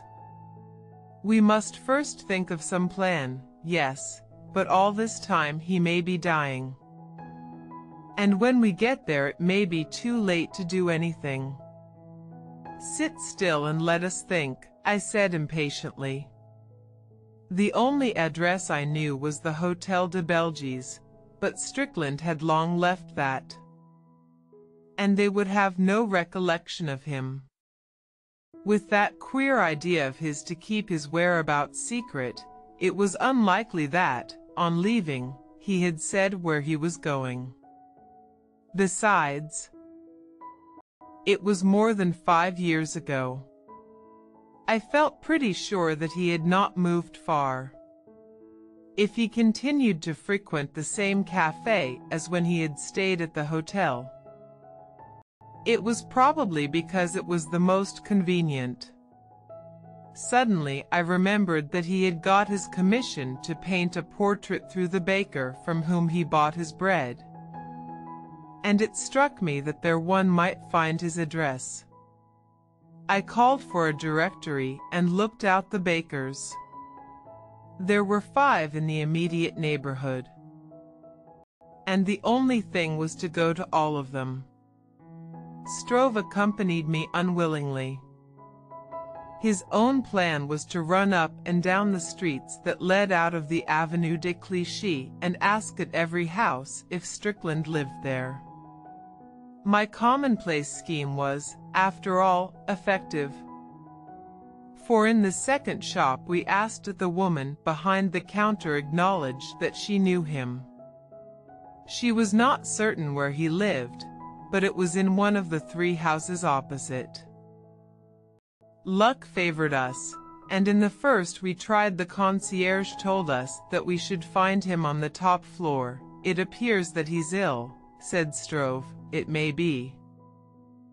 Answered the concierge indifferently, underscore en effet underscore. I have not seen him for several days. Stroeve ran up the stairs ahead of me. And when I reached the top floor, I found him talking to a workman in his shirt sleeves who had opened a door at which Stroeve had knocked. He pointed to another door. He believed that the person who lived there was a painter. He had not seen him for a week. Stroeve made as though he were about to knock, and then turned to me with a gesture of helplessness. I saw that he was panic-stricken, supposing he's dead? Not he, I said. I knocked. There was no answer. I tried the handle and found the door unlocked. I walked in, and Stroeve followed me. The room was in darkness. I could only see that it was an attic with a sloping roof, and a faint glimmer, no more than a less profound obscurity, came from a skylight. Strickland, I called. There was no answer. It was really rather mysterious, and it seemed to me that Stroeve, standing just behind, was trembling in his shoes. For a moment I hesitated to strike a light. I dimly perceived a bed in the corner, and I wondered whether the light would disclose lying on it a dead body. Haven't you got a match, you fool? Strickland's voice, coming out of the darkness, harshly, made me start. Stroeve cried out, Oh, my God, I thought you were dead. I struck a match, and looked about for a candle. I had a rapid glimpse of a tiny apartment, half room, half studio, in which was nothing but a bed, canvases with their faces to the wall, an easel, a table, and a chair.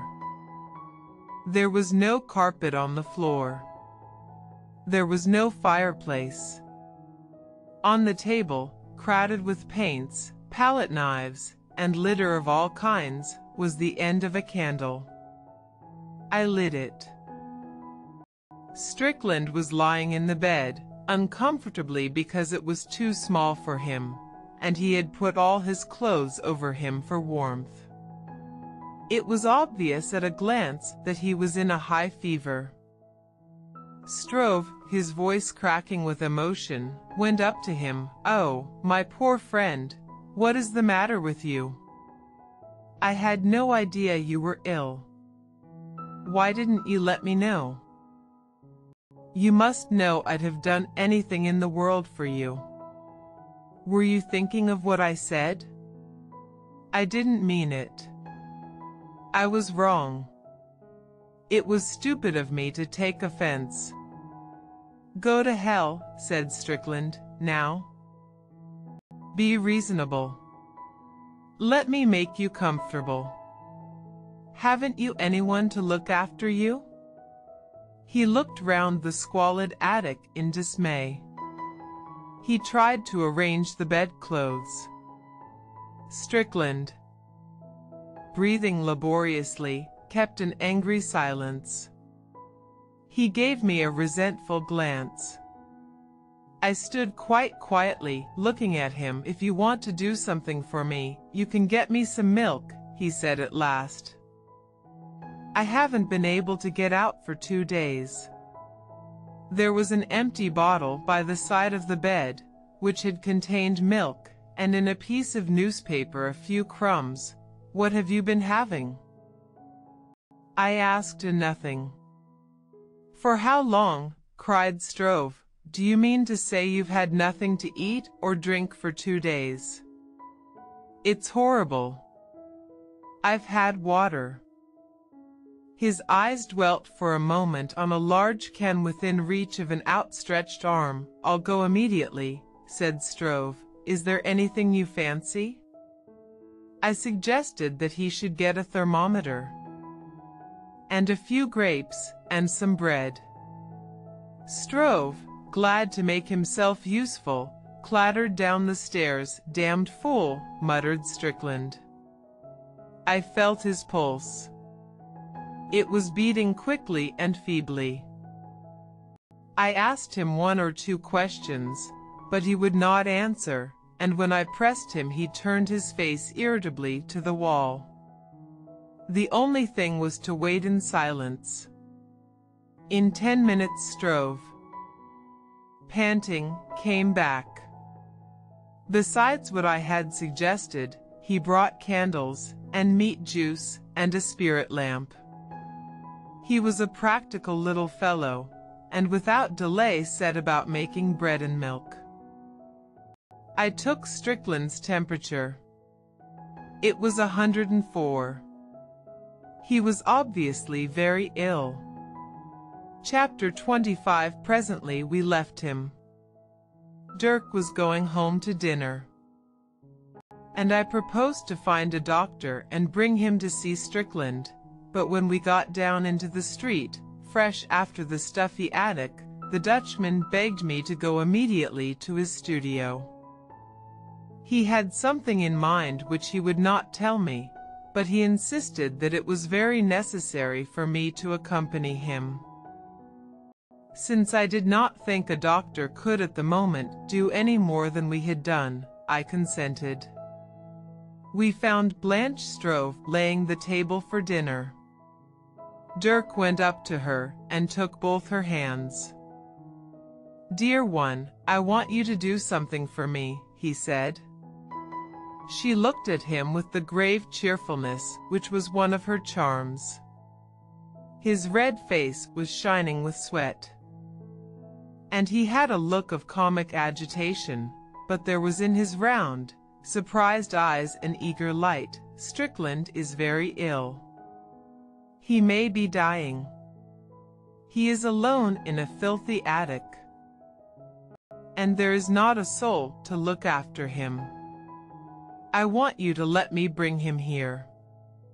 She withdrew her hands quickly. I had never seen her make so rapid a movement, and her cheeks flushed. Oh no.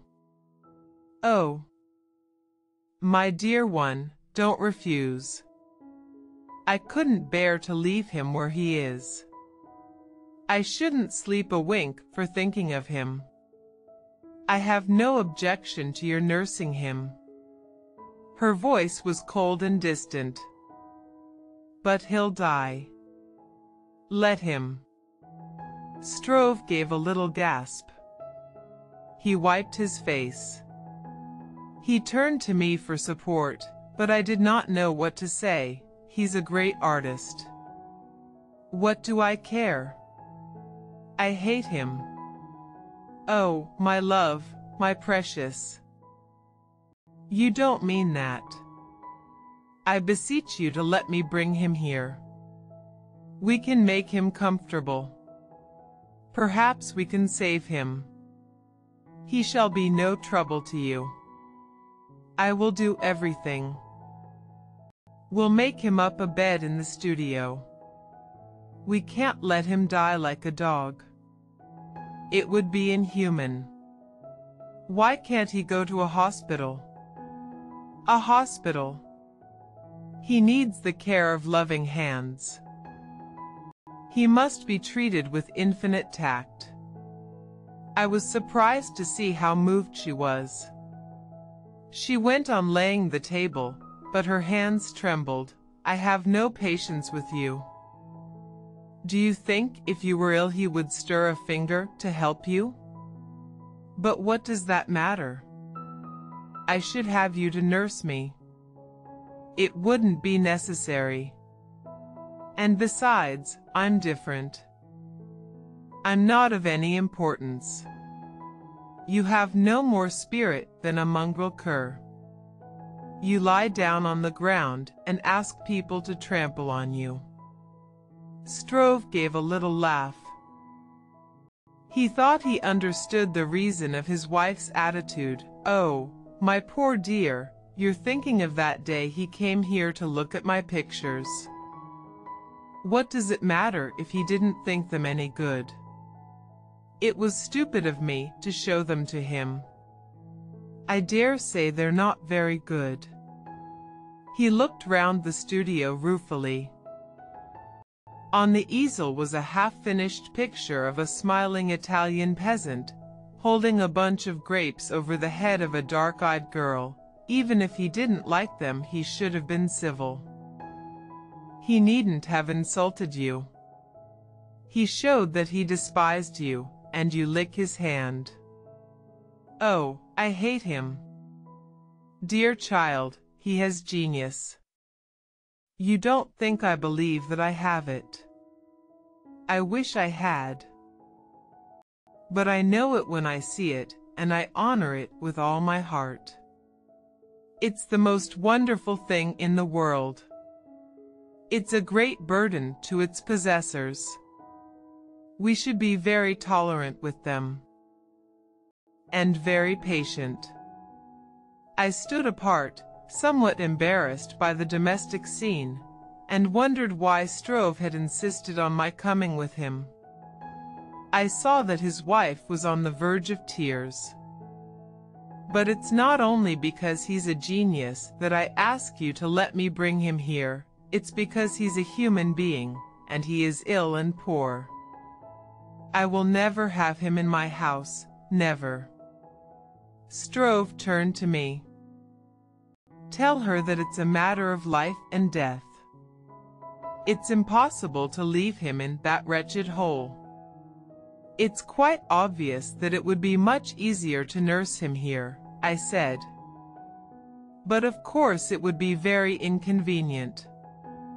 I have an idea that someone will have to be with him day and night. My love, it's not you who would shirk a little trouble. If he comes here, I shall go, said Mrs. Stroeve violently. I don't recognize you. You're so good and kind. Oh, for goodness sake, let me be. You drive me to distraction. Then at last the tears came. She sank into a chair and buried her face in her hands. Her shoulders shook convulsively. In a moment Dirk was on his knees beside her, with his arms round her, kissing her. Calling her all sorts of pet names, and the facile tears ran down his own cheeks. Presently she released herself and dried her eyes. Leave me alone, she said, not unkindly, and then to me. Trying to smile, what must you think of me? Stroeve, looking at her with perplexity, hesitated. His forehead was all puckered, and his red mouth set in a pout. He reminded me oddly of an agitated guinea pig. Then it's no, darling, he said at last. She gave a gesture of lassitude. She was exhausted. The studio is yours. Everything belongs to you. If you want to bring him here, how can I prevent you? A sudden smile flashed across his round face. Then you consent? I knew you would. Oh, my precious. Suddenly she pulled herself together. She looked at him with haggard eyes. She clasped her hands over her heart as though its beating were intolerable. Oh, Dirk, I've never since we met asked you to do anything for me. You know there's nothing in the world that I wouldn't do for you. I beg you not to let Strickland come here. Anyone else you like. Bring a thief, a drunkard, any outcast off the streets. And I promise you I'll do everything I can for them gladly. But I beseech you not to bring Strickland here. But why? I'm frightened of him. I don't know why.